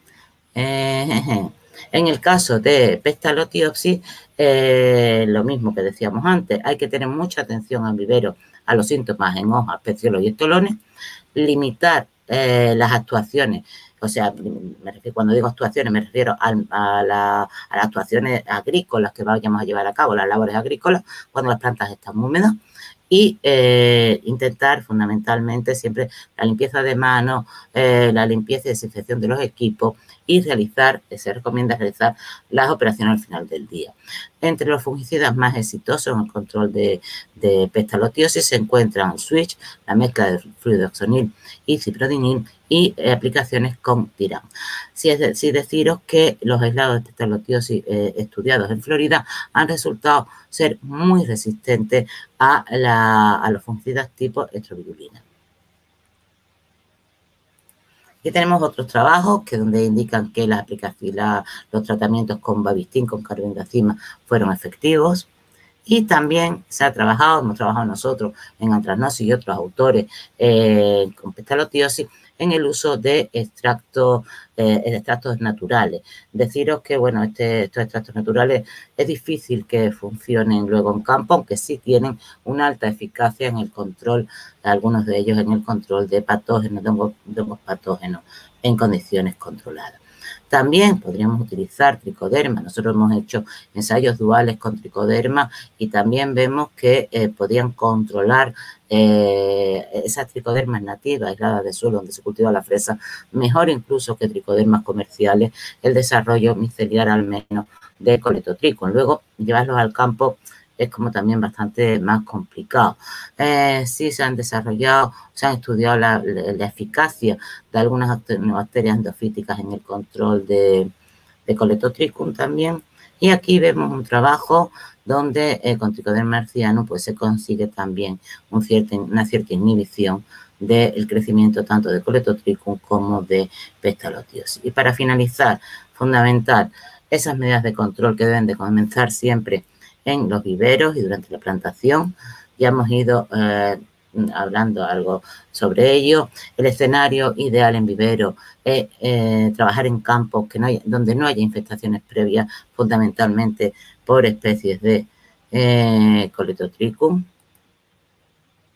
Eh, también estar lo más aislado posible de los campos de producción de frutos, eliminar esos posibles huéspedes intermediarios, y, bueno, hacer una rotación de cultivos, fumigar el suelo por el tema de la mala hierba y después, bueno, las, prácticas donde pudiéramos eliminar de alguna forma esos inóculos primarios que encontraríamos ahí, eh, cómo sería la aplicación de, de, estos tratamientos térmicos y vetar fundamentalmente también el riego por aspersión, utilizar más el riego por goteo y aplicar fungicidas, pero siempre con un cierto control, tomar medidas sanitarias con los trabajadores y los equipos y otras prácticas para, ¿cómo sería? La reducción de aguas estancadas, la eliminación continua de las flores, limitar esas aplicaciones de nitrógeno y evitar fundamentalmente las formas de amonio. Bueno, con esto ya he terminado. Perdonad los imprevistos, pero se me iba y se me venía la presentación. Muchas gracias, Berta. Nos vemos dentro de poco en el coloquio. No te preocupes porque se ha podido ver perfectamente. habéis visto bien? Yo, a mí es que se me iba todo, continuamente, no sé qué ha pasado. Venga. Cosas, del, cosas del, directo y de. Cosas del directo, sí, sí, sí. Hasta luego. Nos vemos enseguida. Y nosotros seguimos, vamos ya con nuestra siguiente presentación a cargo de Miguel Talavera, del área de protección sostenible de cultivos del IFAPA del centro de Alameda del Obispo en Córdoba. Nos hablará de las enfermedades causadas por nematodos fitoparásitos en los frutos rojos de Huelva. Muchas gracias, Miguel, te escuchamos. Muchas gracias, Gustavo. Buenas tardes a todos. Yo esta tarde les voy a hablar, como bien ha dicho Gustavo, de las enfermedades causadas por nematodos en los frutos rojos de Huelva, principalmente en la fresa, su etiología y control. Bien, en la presentación que les voy a dar hablaré un poco al principio de unas generalidades sobre los nematodos fitoparásitos, ya que son casi siempre los grandes desconocidos en la fitopatología. Luego pasaremos a hablar de los síntomas que causan, focalizados por supuesto en los frutos rojos y en la fresa. Hablaremos también de la prevalencia de los nematodos fitoparásitos en la zona productora de frutos rojos de Huelva y de los principales nematodos fitoparásitos que están causando enfermedades o al menos participan de, algunas otras enfermedades complejas en interacción con hongos del suelo. Por último, habrá un apartado, por supuesto, del manejo de los nematodos fitoparásitos en campo y de las opciones de control que tenemos actuales y, que, y futuras. Bien, como probablemente sabrán ya, los nemátodos fitoparásitos son animales multicelulares, son microscópicos, significa que no se pueden ver a simple vista, que necesitamos de un microscopio para verlos mm, y son también tienen una característica fundamental que es que son móviles, lo cual les permite moverse relativamente dentro, dentro del suelo siempre que haya la humedad suficiente, ¿no? Los nemátodos fitoparásitos, que son los que causan problemas en la agricultura, se alimentan de, las plantas cultivadas. Todos poseen un estilete que les permite perforar las células de, las raíces ¿no? y alimentarse de ellas. Y con ello causan un daño en la planta que se traduce en pérdidas de productividad. Existen varios tipos de nemátodos fitoparásitos según su ciclo de vida, ¿no? Los que se alimentan, digamos, desde el exterior de las raíces, se comportan acercándose a las raíces y se alimentan de ellas, no penetran en las raíces y se comportan en cierto modo también como muchos insectos, ¿no? Por lo que su modo de acción se puede considerar que, que es una plaga, ¿no?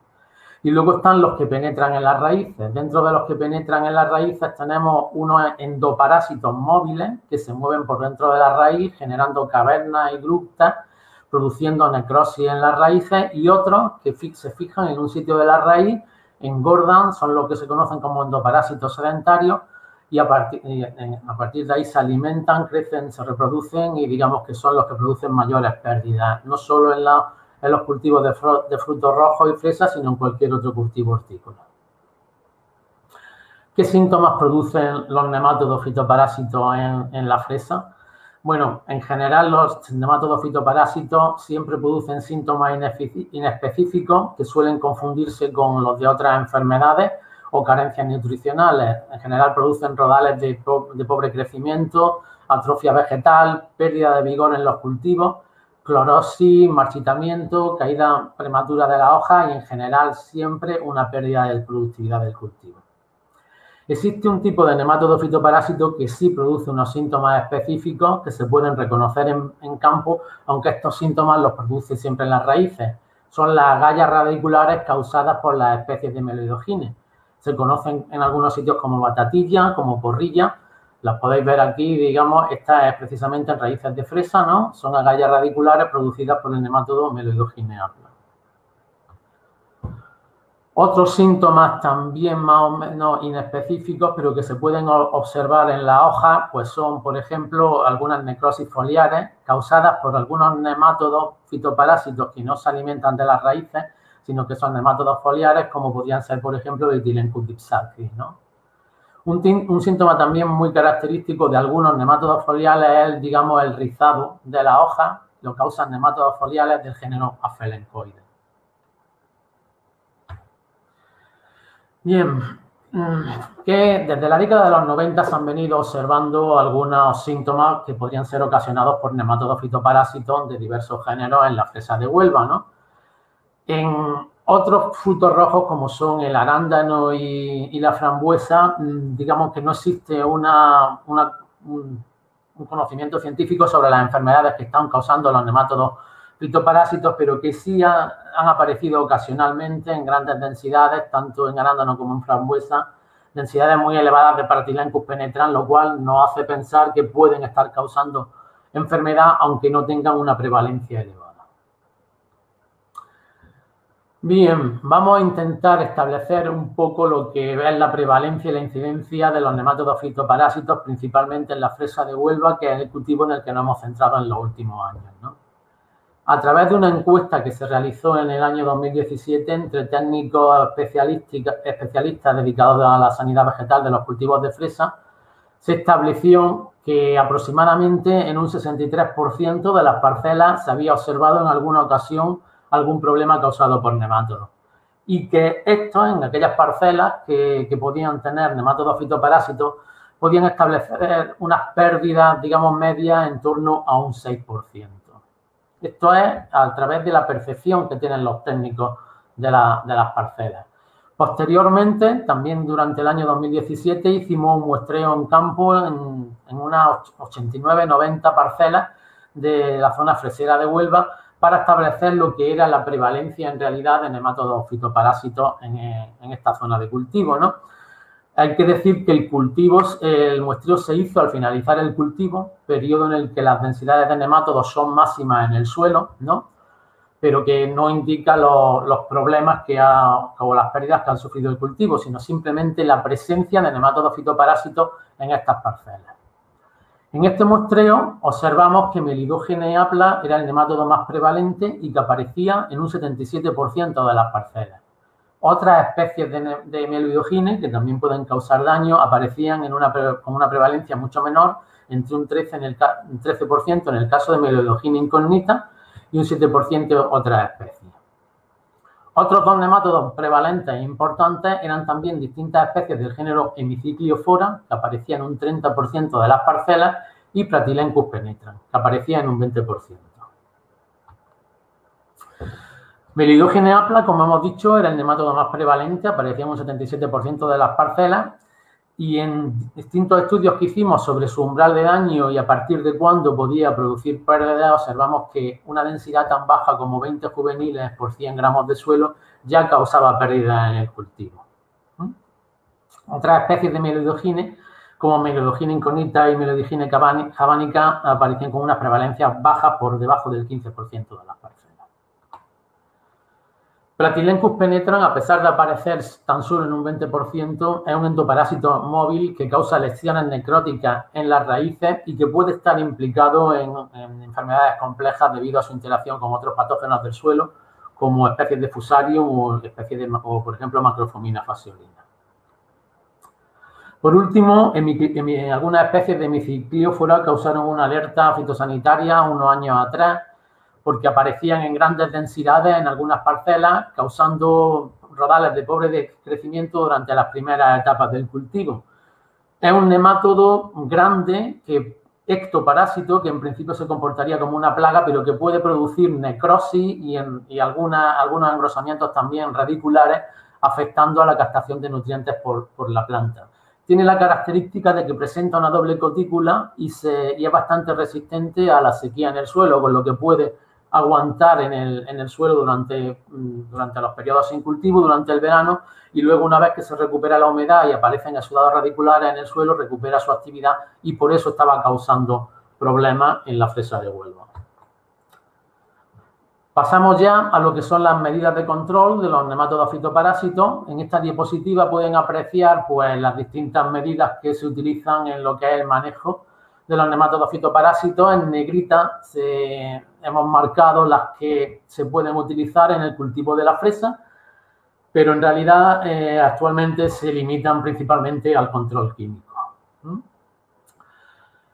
Eh, el control químico, en concreto la fumigación del suelo con agroquímicos fumigantes, está muy extendido en el, en el cultivo de la fresa en Huelva. Prácticamente se hace a nivel mayoritario en la diapositiva se pueden apreciar, digamos, la proporción de, los químicos que se, han venido utilizando o que se utilizaban en el 2017.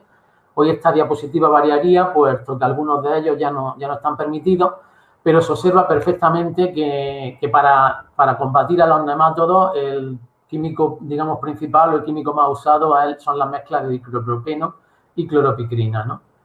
Los, tratamientos se, solían repetir con una periodicidad anual en un 83% de los casos y la mayoría de las desinfecciones se realizaban en, mono, lomo por tratamiento principalmente a través del riego por goteo. En esta diapositiva quiero mostrarles los, los productos que tenemos autorizados frente a las enfermedades causadas por nemátodos en la Unión Europea. En teoría, los que están recogidos dentro del famoso anexo 1, ¿no? Y para todos los cultivos en general. Como ven, pues hay una docena de productos que, estarían permitidos. Pero, ¿qué ocurre cuando nos vamos centrando tanto en España? bueno, perdón, voy a mostrarles primero una, una diapositiva que considero muy interesante en cuanto a la eficacia nematicida de la mayoría de estos productos. Cuando hablo de eficacia nematicida, me refiero a, digamos, el porcentaje de reducción que hay sobre las poblaciones iniciales en el momento del establecimiento de un cultivo. Una vez que nosotros aplicamos ese, ese producto, las poblaciones o las densidades de nematodos se reducen en un porcentaje. Una eficacia del 100% significaría que reduce todo, a cero las poblaciones de nemátodos y una mm, eficacia del 0% significaría que no tiene ningún efecto sobre las poblaciones de nemátodos. ¿no?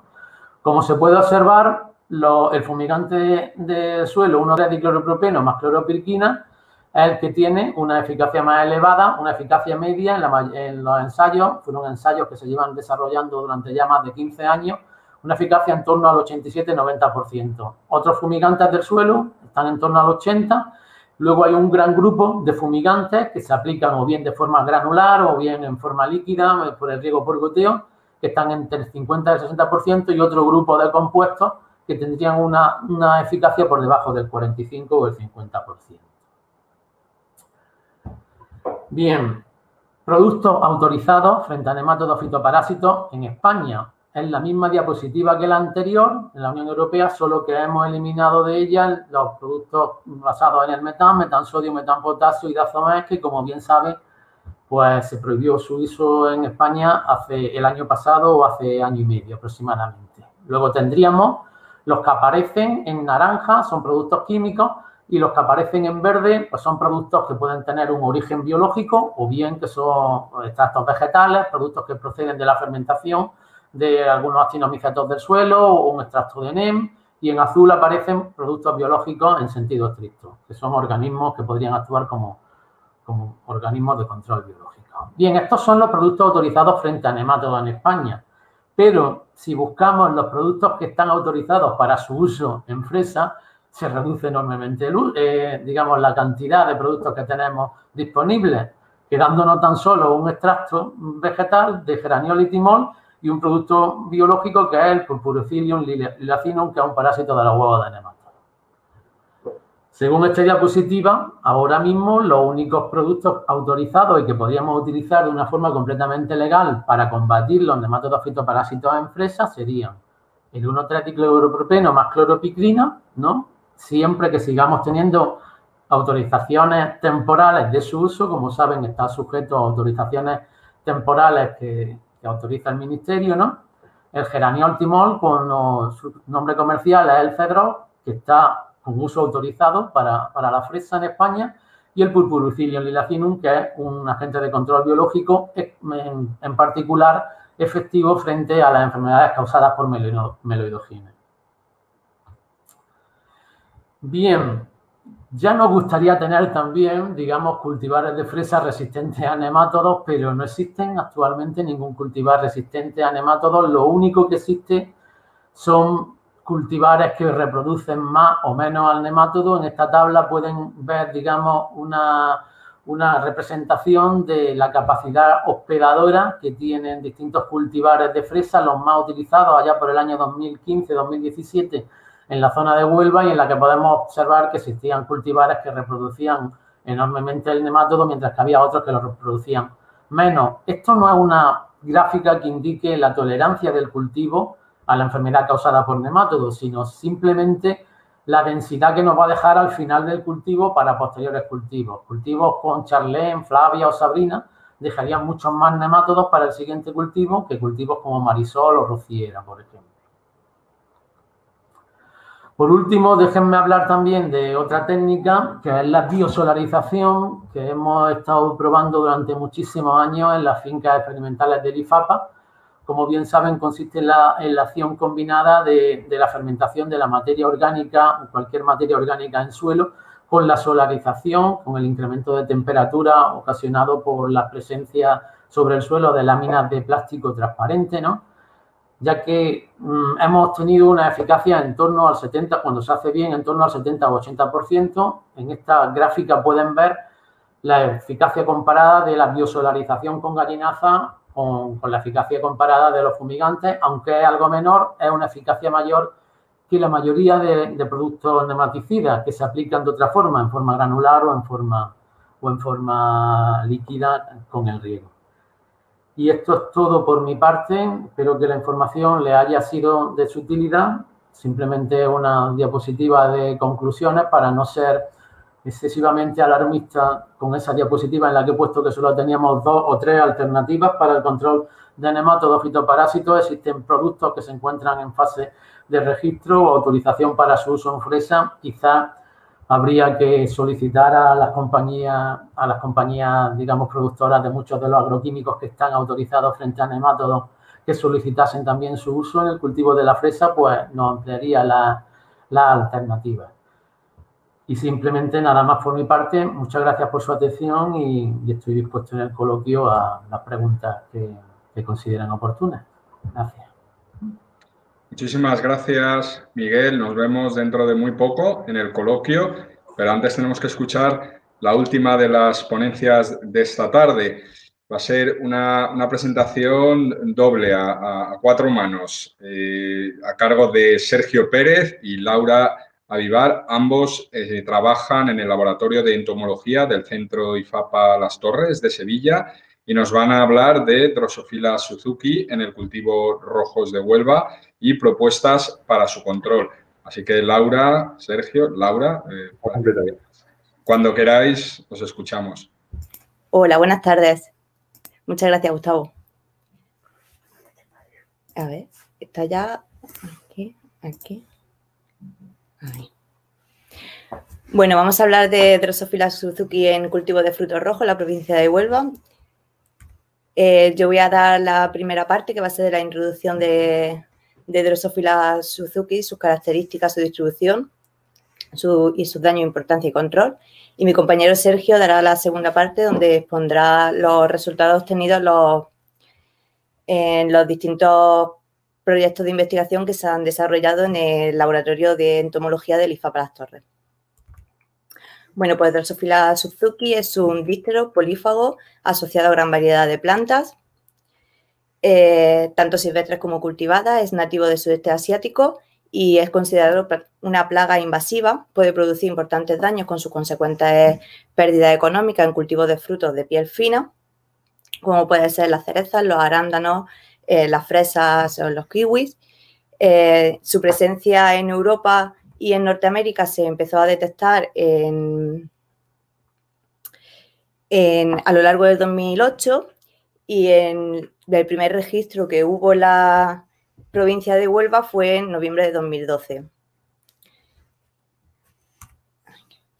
Eh, los machos de, de Drosophila Suzuki se diferencian por tener estas bandas eh, eh, negras en, en los extremos de las, de las alas y las hembras poseen un ovopositor aserrado que las distingue de otras drosófilas que le permite depositar los huevos preferentemente en, frutos sanos, en embero o, o maduro, pero también puede depositar huevos en frutos verdes o sobre maduro.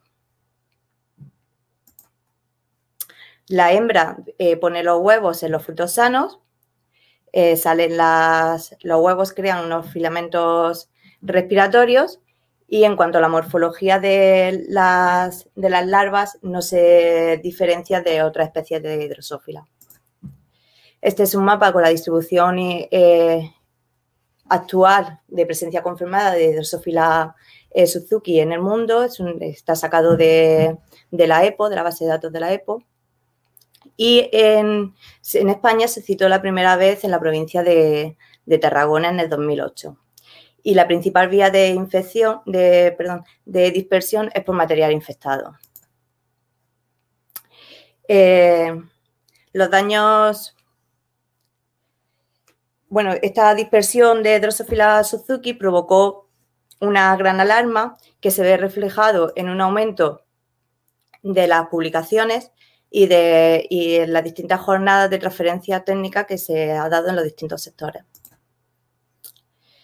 Eh, los daños ocasionados por Drosophila Suzuki eh, va a depender mucho del tipo de cultivo, de la variedad, de las condiciones climáticas, sobre todo humedad y temperatura en la zona y de la disponibilidad de plantas silvestres ah, y de las medidas de gestión de residuos, de residuos que en su conjunto eh, puede aumentar o disminuir la densidad de la población.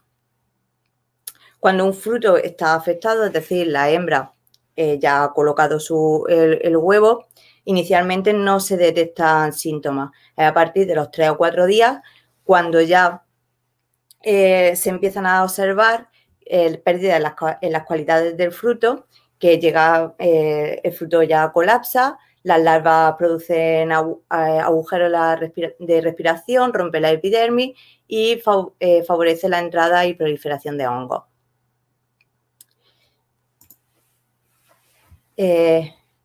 Bien, el sector de frutos eh, rojos en Huelva es muy, muy importante ya que, se, ya que realiza entre el 80 y el 90% de la exportación eh, en España. Hay más de 10.000 hectáreas em, eh, mm, cultivadas, produce unos 450 millones de facturación, crea 80.000 empleos solamente en lo que es la recogida del fruto rojo. Y bien,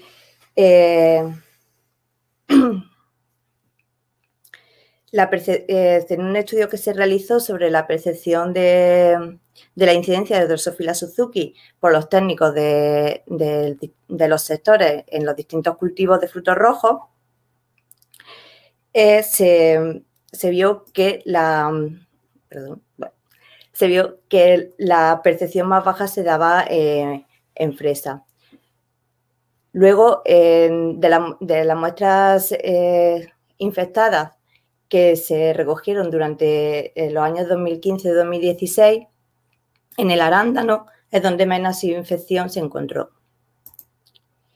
Aquí vemos la, dinámica eh, poblacional de Drosophila Suzuki en Huelva y vemos que existen dos, valles que coinciden con los meses de, verano y luego tenemos dos picos que coinciden en los meses de diciembre y, y marzo y en diciembre coincide con el inicio de la recogida de fresa y de, la frambuesa.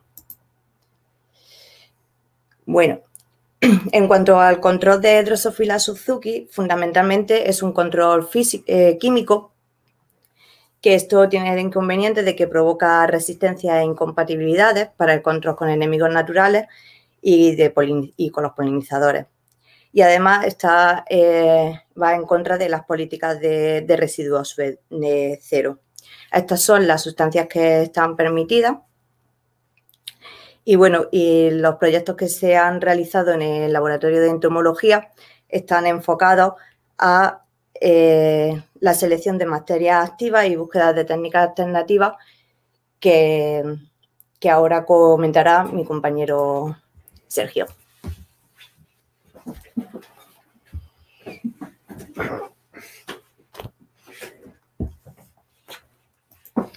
Bien, buenas tardes. Gracias, Fitoman, por la invitación.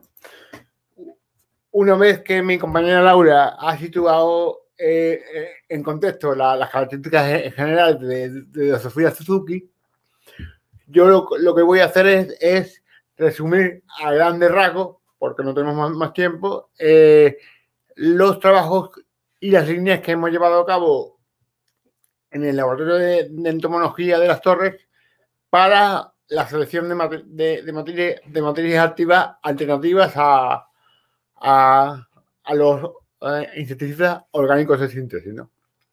Eh, la primera pregunta que nos hicimos eh, cuando empezamos a trabajar con, esta plaga fue si había diferencias en susceptibilidad entre variedades de, frutos rojos. En, ese sentido, eh, eh, concretamente en, en arándano, la, hemos, eh, hemos ensayado con, nueve variedades, normalmente la, más frecuente y las que más se usan en Huelva. Y el primer resultado que cabía esperar es que todas las, variedades de, de, arándano ensayadas son susceptibles a la plaga. Si bien hemos encontrado eh, eh, diferencias significativas entre ellas, podemos destacar que eh, la, variedad de Star sería la más susceptible y entre las más, las menos susceptibles, perdón, destacaríamos por Camelia, Mayra o Entura. Si observamos en la, diapositiva, los tiempos de desarrollo en, fruto son bastante parecidos, pero destaca una de las variedades que, resultó menos susceptible con un periodo de desarrollo mm, eh, claramente mayor, lo cual nos estaría indicando que eh, el fruto de, esta variedad no, es el óptimo para, para, Suzuki.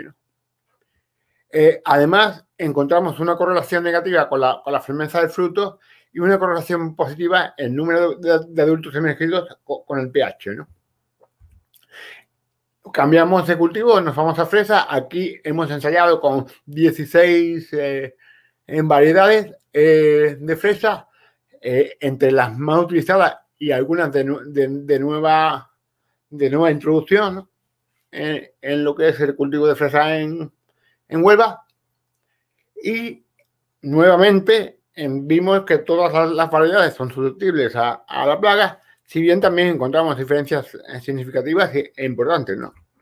Eh, las más eh, susceptibles serían Calderón y, y 0955 y entre las, más, las menos susceptibles destacaríamos eh, Petaluma o Sabrina. Si es verdad que en esta ocasión no hemos encontrado correlación con, las características del fruto, ni, ni, ni, de textura, ni las características químicas, así que seguimos haciendo ensayos para determinar qué factores eh, son los importantes y, cuáles de ellos determinan las diferencias en susceptibilidad entre las variedades. ¿no? Los, tiempos de, desarrollo eh, en fresa también son muy parecidos, aunque cabe destacar, perdón, cabe destacar que Fortuna tuvo, significativamente eh, el menor de los desarrollos, que es una de las variedades tradicionales en, Huelva.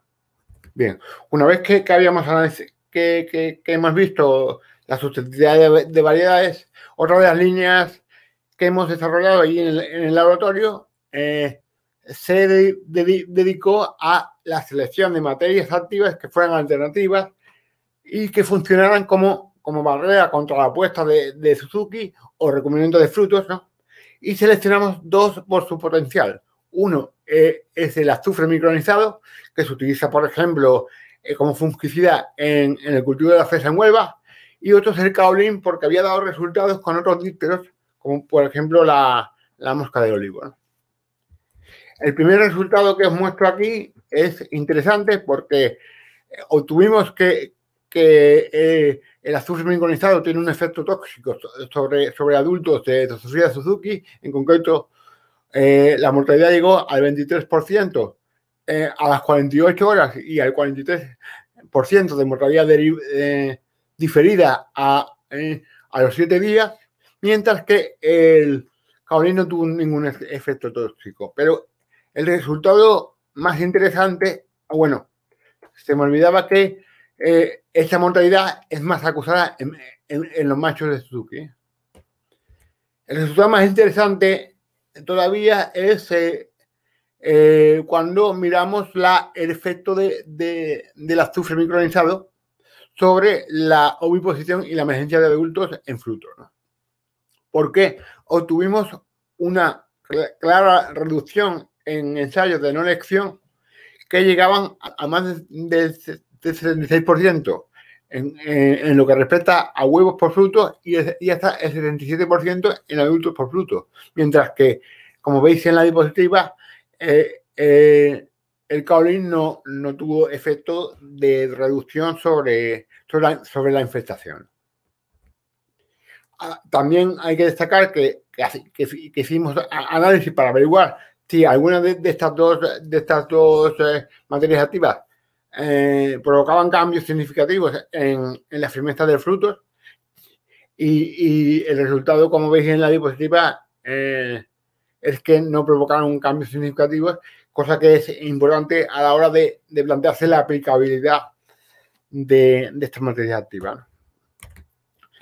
Volviendo a, la oposición en la emergencia de adultos, en, en este caso, un ensayo de elección la reducción del azufre fue aún mayor, eh, del 98% en huevos y del 96% en adultos emergidos, mientras que el kaolin seguía sin darnos efectos significativos en, en cuanto a la reducción de la infestación.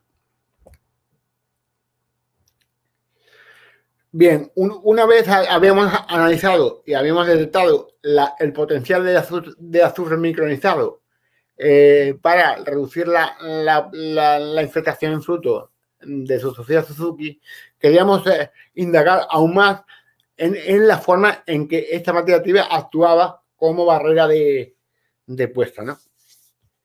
Así que en esta ocasión nos fuimos otra vez a, los ensayos. Eh, esta vez eh, lo hicimos con, fruto de fresa, los anteriores es con fruto de arándano. Y eh, el primer resultado que muestro es, la confirmación de que el azufre en micronizado seguía dando un buen resultado en cuanto a la reducción de, la infestación por fruto, también en fresa. Ya vemos que, esta reducción llega a casi el 80% y que afecta tanto a larvas como a pupas. Lo que no sabíamos es si este efecto se producía porque la mosca no llegaba al fruto, o sea, si no sabíamos si, el efecto era repelente y, y, el azufre funcionaba como barrera impidiendo la detección del fruto por parte de la mosca, o si el azufre modificaba el comportamiento de, la mosca ya en el fruto. Bien, hicimos ensayos para dilucidar este, esta, cuestión y eh, obtuvimos un patrón mixto en el que se ve que el azufre atrasa la, detección del fruto más del un 75% y reduce el tiempo de estancia en el fruto. Además, que, que se reduce hasta un 70%. ¿no? fuimos un poquito más allá y, analizamos el comportamiento de las hembras en el fruto con cámaras digitales para ver si había algún, alguna modificación en, el, en, una serie de comportamientos que, definimos previamente. No vimos diferencias en, en, en cuanto a los comportamientos definidos de parada, de andar o de limpieza de la mosca, pero sí hay que destacar que eh, solo se observó oviposición en los frutos no tratados. En el periodo que duraba el ensayo con las cámaras digitales quedan como 15 minutos. Bien, otra de las, otra de las materias activas que, queríamos, que, queríamos testar contra contra la sociedad Suzuki eran los extractos vegetales. Y para ello seleccionamos una serie de extractos vegetales eh, comerciales que eh, por sus características pensábamos que, tenían un potencial de acción contra esta plaga. Y nos fuimos a, ensayarlo ya directamente a campo, a macrotúnel de frambuesa. ¿vale? Eh, utilizamos un control negativo que era simplemente agua y un control positivo que era espinosal porque es la materia activa que ahora tiene más, más efectos sobre, la plaga, ¿vale? Como vemos en, la diapositiva, ninguno de los de los de los eh, de los extractos eh, ensayados eh, obtuvo estuvo al nivel de, del, control obtenido por, por espinosal. Sí es verdad que, que seis días después de la aplicación vimos un efecto eh, que es más o menos comparable con el Spinosad en estratos de ajo y en estratos de estofora flavescens. Sin embargo, eh, los resultados no son, no son muy prometedores con este tipo de, de, material.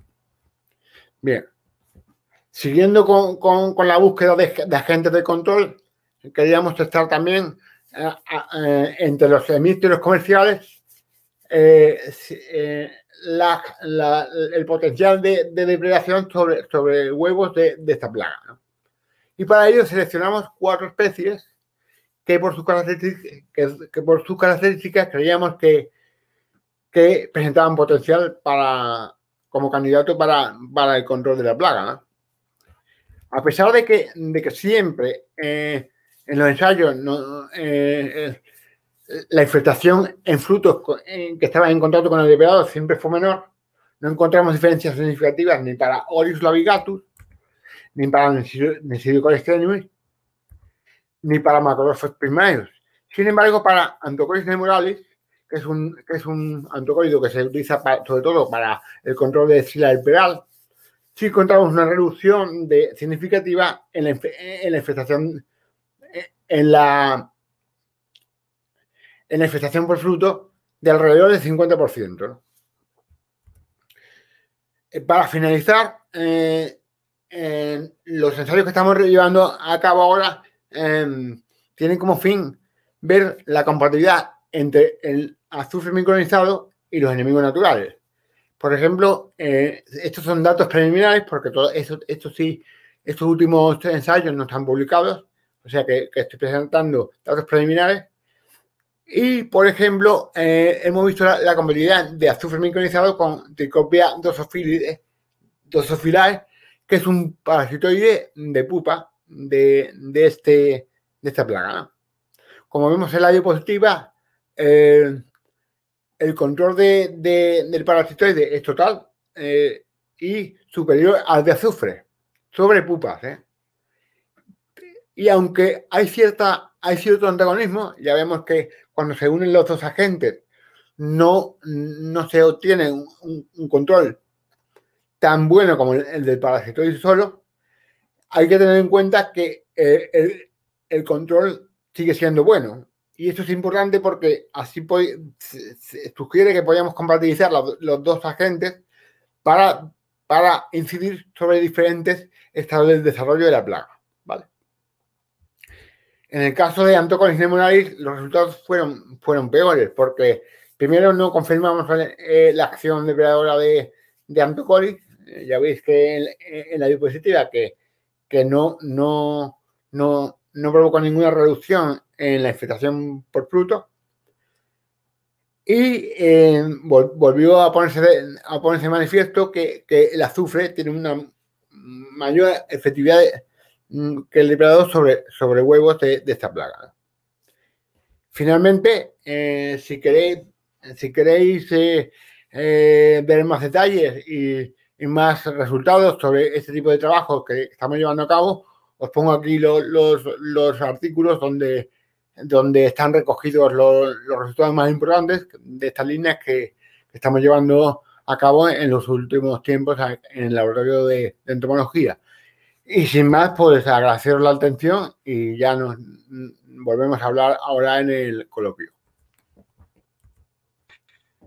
Muchas gracias, Sergio. Eh, no os vayáis porque ya sois los últimos Así que empezamos ya el coloquio con Sergio, con Laura, con Miguel, con Berta y con Dani. Eh, pues se han ido acumulando las preguntas, así que sin, más dilación os las, voy, voy lanzando. A ver, empezamos con pregunta para Berta. ¿El cracking y puntas blandas también puede ser varietal? He observado esto que hay variedades más sensibles o susceptibles a estos efectos. ¿Es así?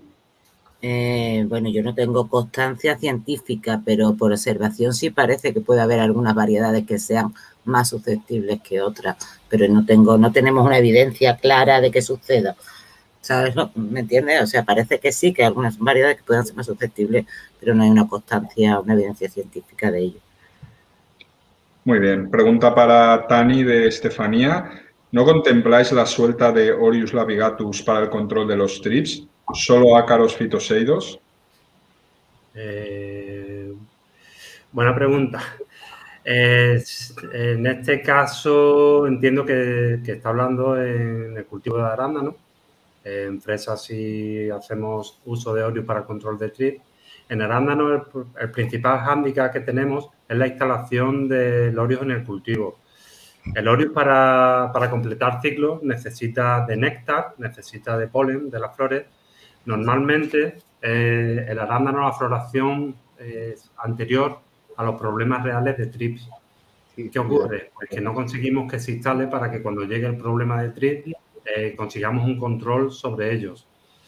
Es el motivo. Sí que es verdad que, la instalación de lobularia marítima eh, en el cultivo, que es otra de las cosas que en mi ponencia he, he hablado de sus beneficios, sí que consigue atraer a lo mejor y que una cierta eh, instalación, digamos, del óleo en el cultivo, pero no suele ser tampoco suficiente.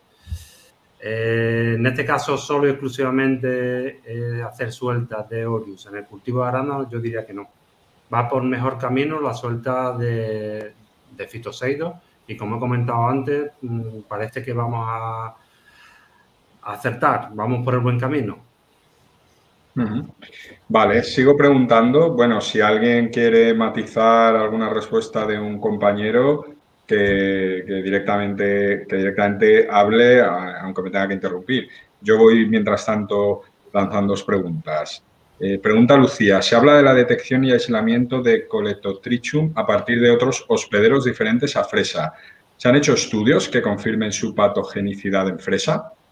Sí, evidentemente, hasta, bueno, por ejemplo, en nuestro caso, cuando hablábamos del arándano y de que hemos aislado tanto Coletotrichum tanto arándano como de fresa, evidentemente hicimos inoculaciones cruzadas, vimos que tanto Coletotrichum de arándano afectaba a fresa como al contrario.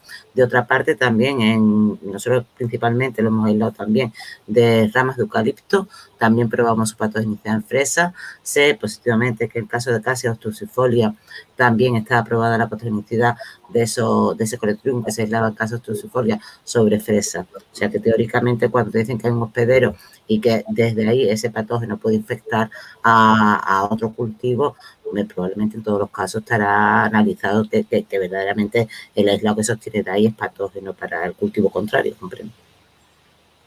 Seguimos con, contigo porque preguntan, eh, hoy día se conoce la existencia de complejos de especies de Coletotricum. ¿Se ha estudiado cuántas especies están presentes en fresa y su asociación con tejidos específicos de la planta?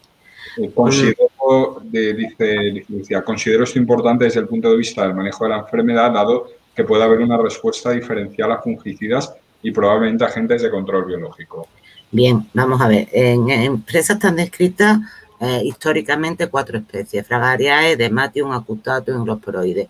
Recientemente se han descubierto otras especies relacionadas, muy relacionadas con Acutatum, como puede ser Coletotricum nymphae, pero todas estas especies van a ocasionar síntomas en todas las partes de la planta y estos síntomas van a ser eh, absolutamente similares, de manera que nosotros no podríamos decir hay una especificidad de una especie de Coletotricum por una parte de la planta por otra y así diferenciar.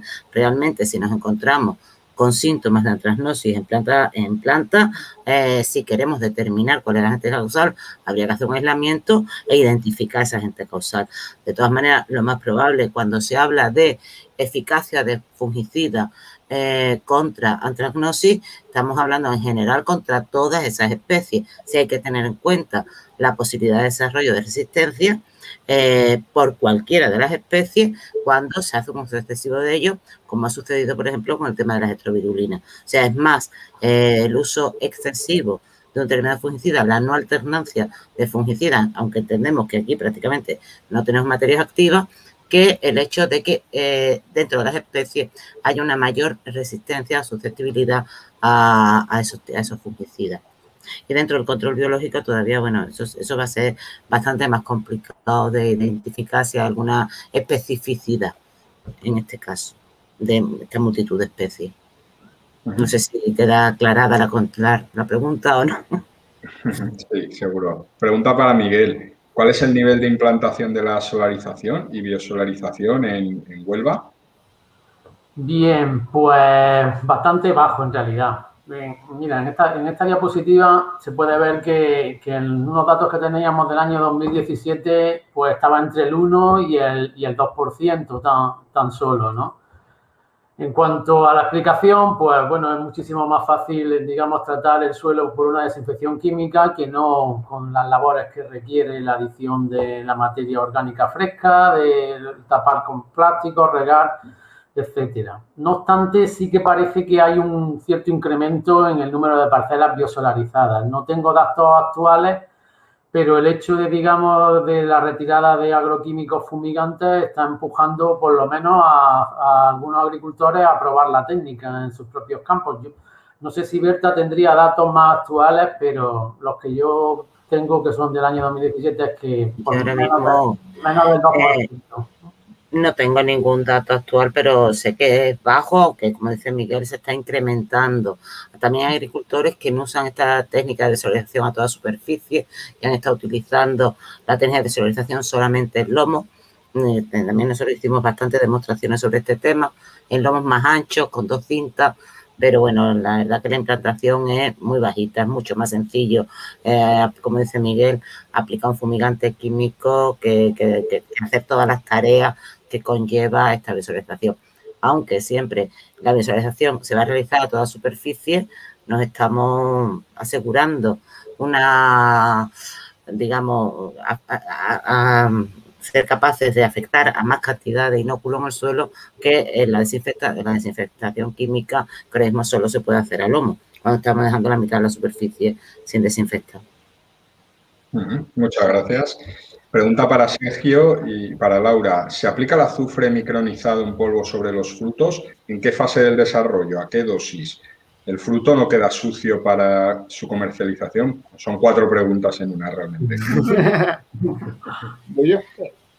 bueno, eh, en realidad eh, me, gusta que me hagan esta pregunta porque, parte de, la motivación para ensayar con azufre fue porque teníamos bueno, bueno me, vuelvo otra vez para atrás. Eh, el azufre ya se utiliza con fungicida en la fresa, ¿vale? Y nosotros sospechamos que, que, es parte del motivo por, por, el que, por el que mm, la, la incidencia de, de Suzuki en Huelva en fresa es muy baja, ¿vale? Pues ese fue. Luego, eh, eso confiere una ventaja porque, porque para, para, para aplicar eh, el azufre con Suzuki solo había que había hacer unas pequeñas modificaciones en la aplicación porque ya, ya, ya se utiliza en el cultivo. Pero sí es verdad que los, los resultados que hemos mostrado son, son de, laboratorio. El próximo paso es, eh, es ir a campo y ya ajustar eh, la fase de desarrollo del cultivo. Y, y sí es verdad que que en fresa no, no, vemos nada problemático, en otros cultivos pues sí, sería más problemático. Pero, por ejemplo, para hay otro cultivo eh, susceptible, que es muy susceptible a, a Suzuki, en el que también se utiliza eh, el azufre, que, que, es la vid, ¿no? Por, ejemplo. O sea, ese sería el motivo por el que nos hemos centrado más en el azufre, porque, y además además el azufre hay que recordar que está, está permitido en, la agricultura ecológica. Sigo con vosotros porque preguntan si, se ha investigado en el IFAPA, como en otros países, la introducción de parasitoides nativos para reducir las poblaciones de drosofila. Yo, eh, en el IFAPA no, eso seguro. Eh, y en Huelva eh, sí, sí, se ha estudiado las poblaciones naturales. Ahora, eh, ensayos de introducción yo no tengo constancia. No sé si también tiene algún dato sobre eso, pero yo no tengo constancia de que con de autóctonos se, hayan hecho ensayos de, introducción. En este caso yo dispongo también de poca información al respecto. Sé que algo sí se está trabajando sobre ello, porque es una plaga que cada vez va más y se intenta siempre buscar soluciones, pero tengo poca información. No tengo constancia de que se esté realizando de forma a nivel de campo ninguna suelta. Nosotros tampoco, ¿eh? Vuelvo con eh, Miguel. Eh, pregunta Lucía si le podría explicar brevemente en qué consiste la biosolarización más gallinaza. Sí, un momento, voy a buscar también una diapositiva donde creo que estaba explicado.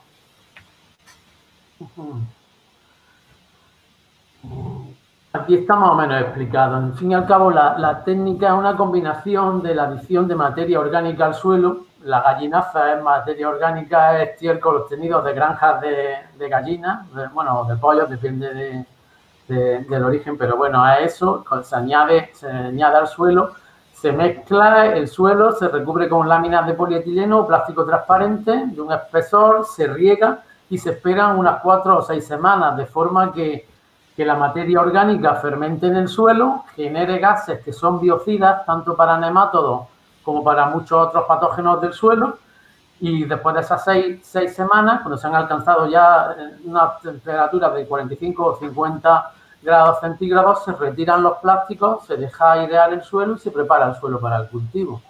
En eso consiste la técnica. Y para para Tani o para eh, Laura y Sergio preguntan por el por eh, aurantis, si, si desde el IFAPA o desde COPER hay alguna una estrategia de control de, esta nueva plaga. No, bueno, nos han llegado noticias de, esta plaga, pero ahora mismo no, tenemos ninguna actividad para, para ensayos con, para controlar esta plaga. Ahora mismo, ¿eh? Yo creo que está eh, estamos en la fase de, ver hasta dónde ha llegado y cuál es la distribución. En el caso de Copper sí estamos muy encima porque prácticamente desde hace un año que empezamos a verlo en frutos rojos, en distintos, tanto en frambuesa como después cuando se empezó a plantar fresas muy pronto empezamos a tener constancia de que estaba haciendo daño, pues estamos encima de él. Eh, sabemos que en fresa el Orius ha llegado a controlar algo junto con las placas cromotrópicas que también es algo de captura masiva y ha bajado mucha población, pero estamos encima, estamos intentando buscar una solución más certera por la diversidad, como expuse antes en la presentación, eh, la diversidad de, temperaturas a las que lo hemos visto, que lo hemos visto tanto en invierno, que lo hemos visto tanto en verano, en distintos cultivos, ya nos salimos incluso de berries, hemos visto que se ha instalado en cultivos y está haciendo daño en otros cultivos, pues estamos ahora mismo, digamos, unificando información de todo para poder buscar una solución a, este, a este. Pues acabamos con una pregunta que, interpela a todos los ponentes de José María. ¿Consideráis que los actuales reglamentos de producción integrada recogen adecuadamente los problemas fitosanitarios de frutos rojos? ¿Qué opinión os merece las soluciones propuestas para el manejo de complejos plaga? Pulgones, orugas, pues eh, como mm, la pregunta es para todos, yo la lanzo y el primero que, que se atreva que responda. Bueno, ¿Se atreve alguien o no? No, soy yo. Venga, Berta. Bueno, vamos a ver. El tema de los reglamentos mm, necesitan revisión, obviamente. Todos los reglamentos necesitan revisión. Necesitan una actualización, tener en cuenta que hemos visto hace un momento, ¿no? Eh, continuamente van apareciendo nuevas plagas, nuevas enfermedades, de manera que, y que tienen que ser controladas, obviamente. Controladas, sí, hay cosas que se podrían controlar, control biológico, control químico, medidas culturales, pero el reglamento tiene que ir ampliando conforme van apareciendo esas nuevas plagas, debe de ampliarse. Eso ya lo hablamos, nosotros estamos en continuo contacto con sanidad vegetal y obviamente es uno de los temas que tenemos ahí previsto, ya que, por ejemplo, está bueno la introducción del así el nuevo TRIPS, etcétera, etcétera, y eso hay que ir viéndolo. Lo que pasa es que, claro, el principal problema que tenemos es que no tenemos materias activas autorizadas. O sea, ese, mm, tenemos plagas, enfermedades, pero no tenemos realmente autorizaciones. Lo que, hay cosas autorizadas, como te comentaba Miguel, en, en, la Comunidad Económica Europea, como son los generadores metilisocianatos, la desinfectación de suelo, que se han cancelado aquí. Bueno, por una serie de problemas se han tenido que cancelar.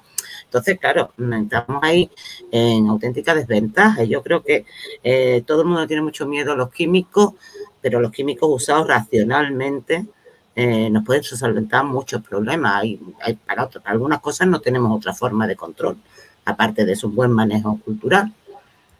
Esa es mi opinión, una opinión personal. ¿eh? ¿Alguien más se anima a responder? No sé, yo creo que, que, los reglamentos deberían de ser más ágiles también. Quizás necesitarían actualizaciones mucho más, más rápidas, ¿no? Porque prácticamente cuando sale un reglamento de producción integrada, al mes ya, está prácticamente desfasado, ¿no? Pues como, como está evolucionando tanto el mercado en el control de plagas, la aparición de nuevos productos, como la retirada de productos antiguos, creo que necesitarían una actualización más rápida. Esa es mi opinión. Pues si nadie más quiere, responder, damos por finalizado el Fitoma. Muchas gracias, Laura, Sergio, Berta, Miguel, eh, Tani, eh, muchas gracias por colaborar con Fitoma en estas jornadas virtuales que, bueno, pretenden poco ayudar, ayudar a los técnicos agricultores sobre los problemas fitosanitarios que se encuentran. Eh, así que nada, nos vemos, nos vemos en, otra ocasión y ya desde Fitoma nos despedimos también hasta después de verano. Los Fitoma volverán el 23 de septiembre para tratar las enfermedades de post cosecha. A lo largo de, las próximas semanas eh, actualizaremos esta plataforma y podréis, ver toda la información. Pero mientras tanto, pues eh, nada, desearos un, feliz verano y os esperamos a la vuelta de las vacaciones. Gracias por todo.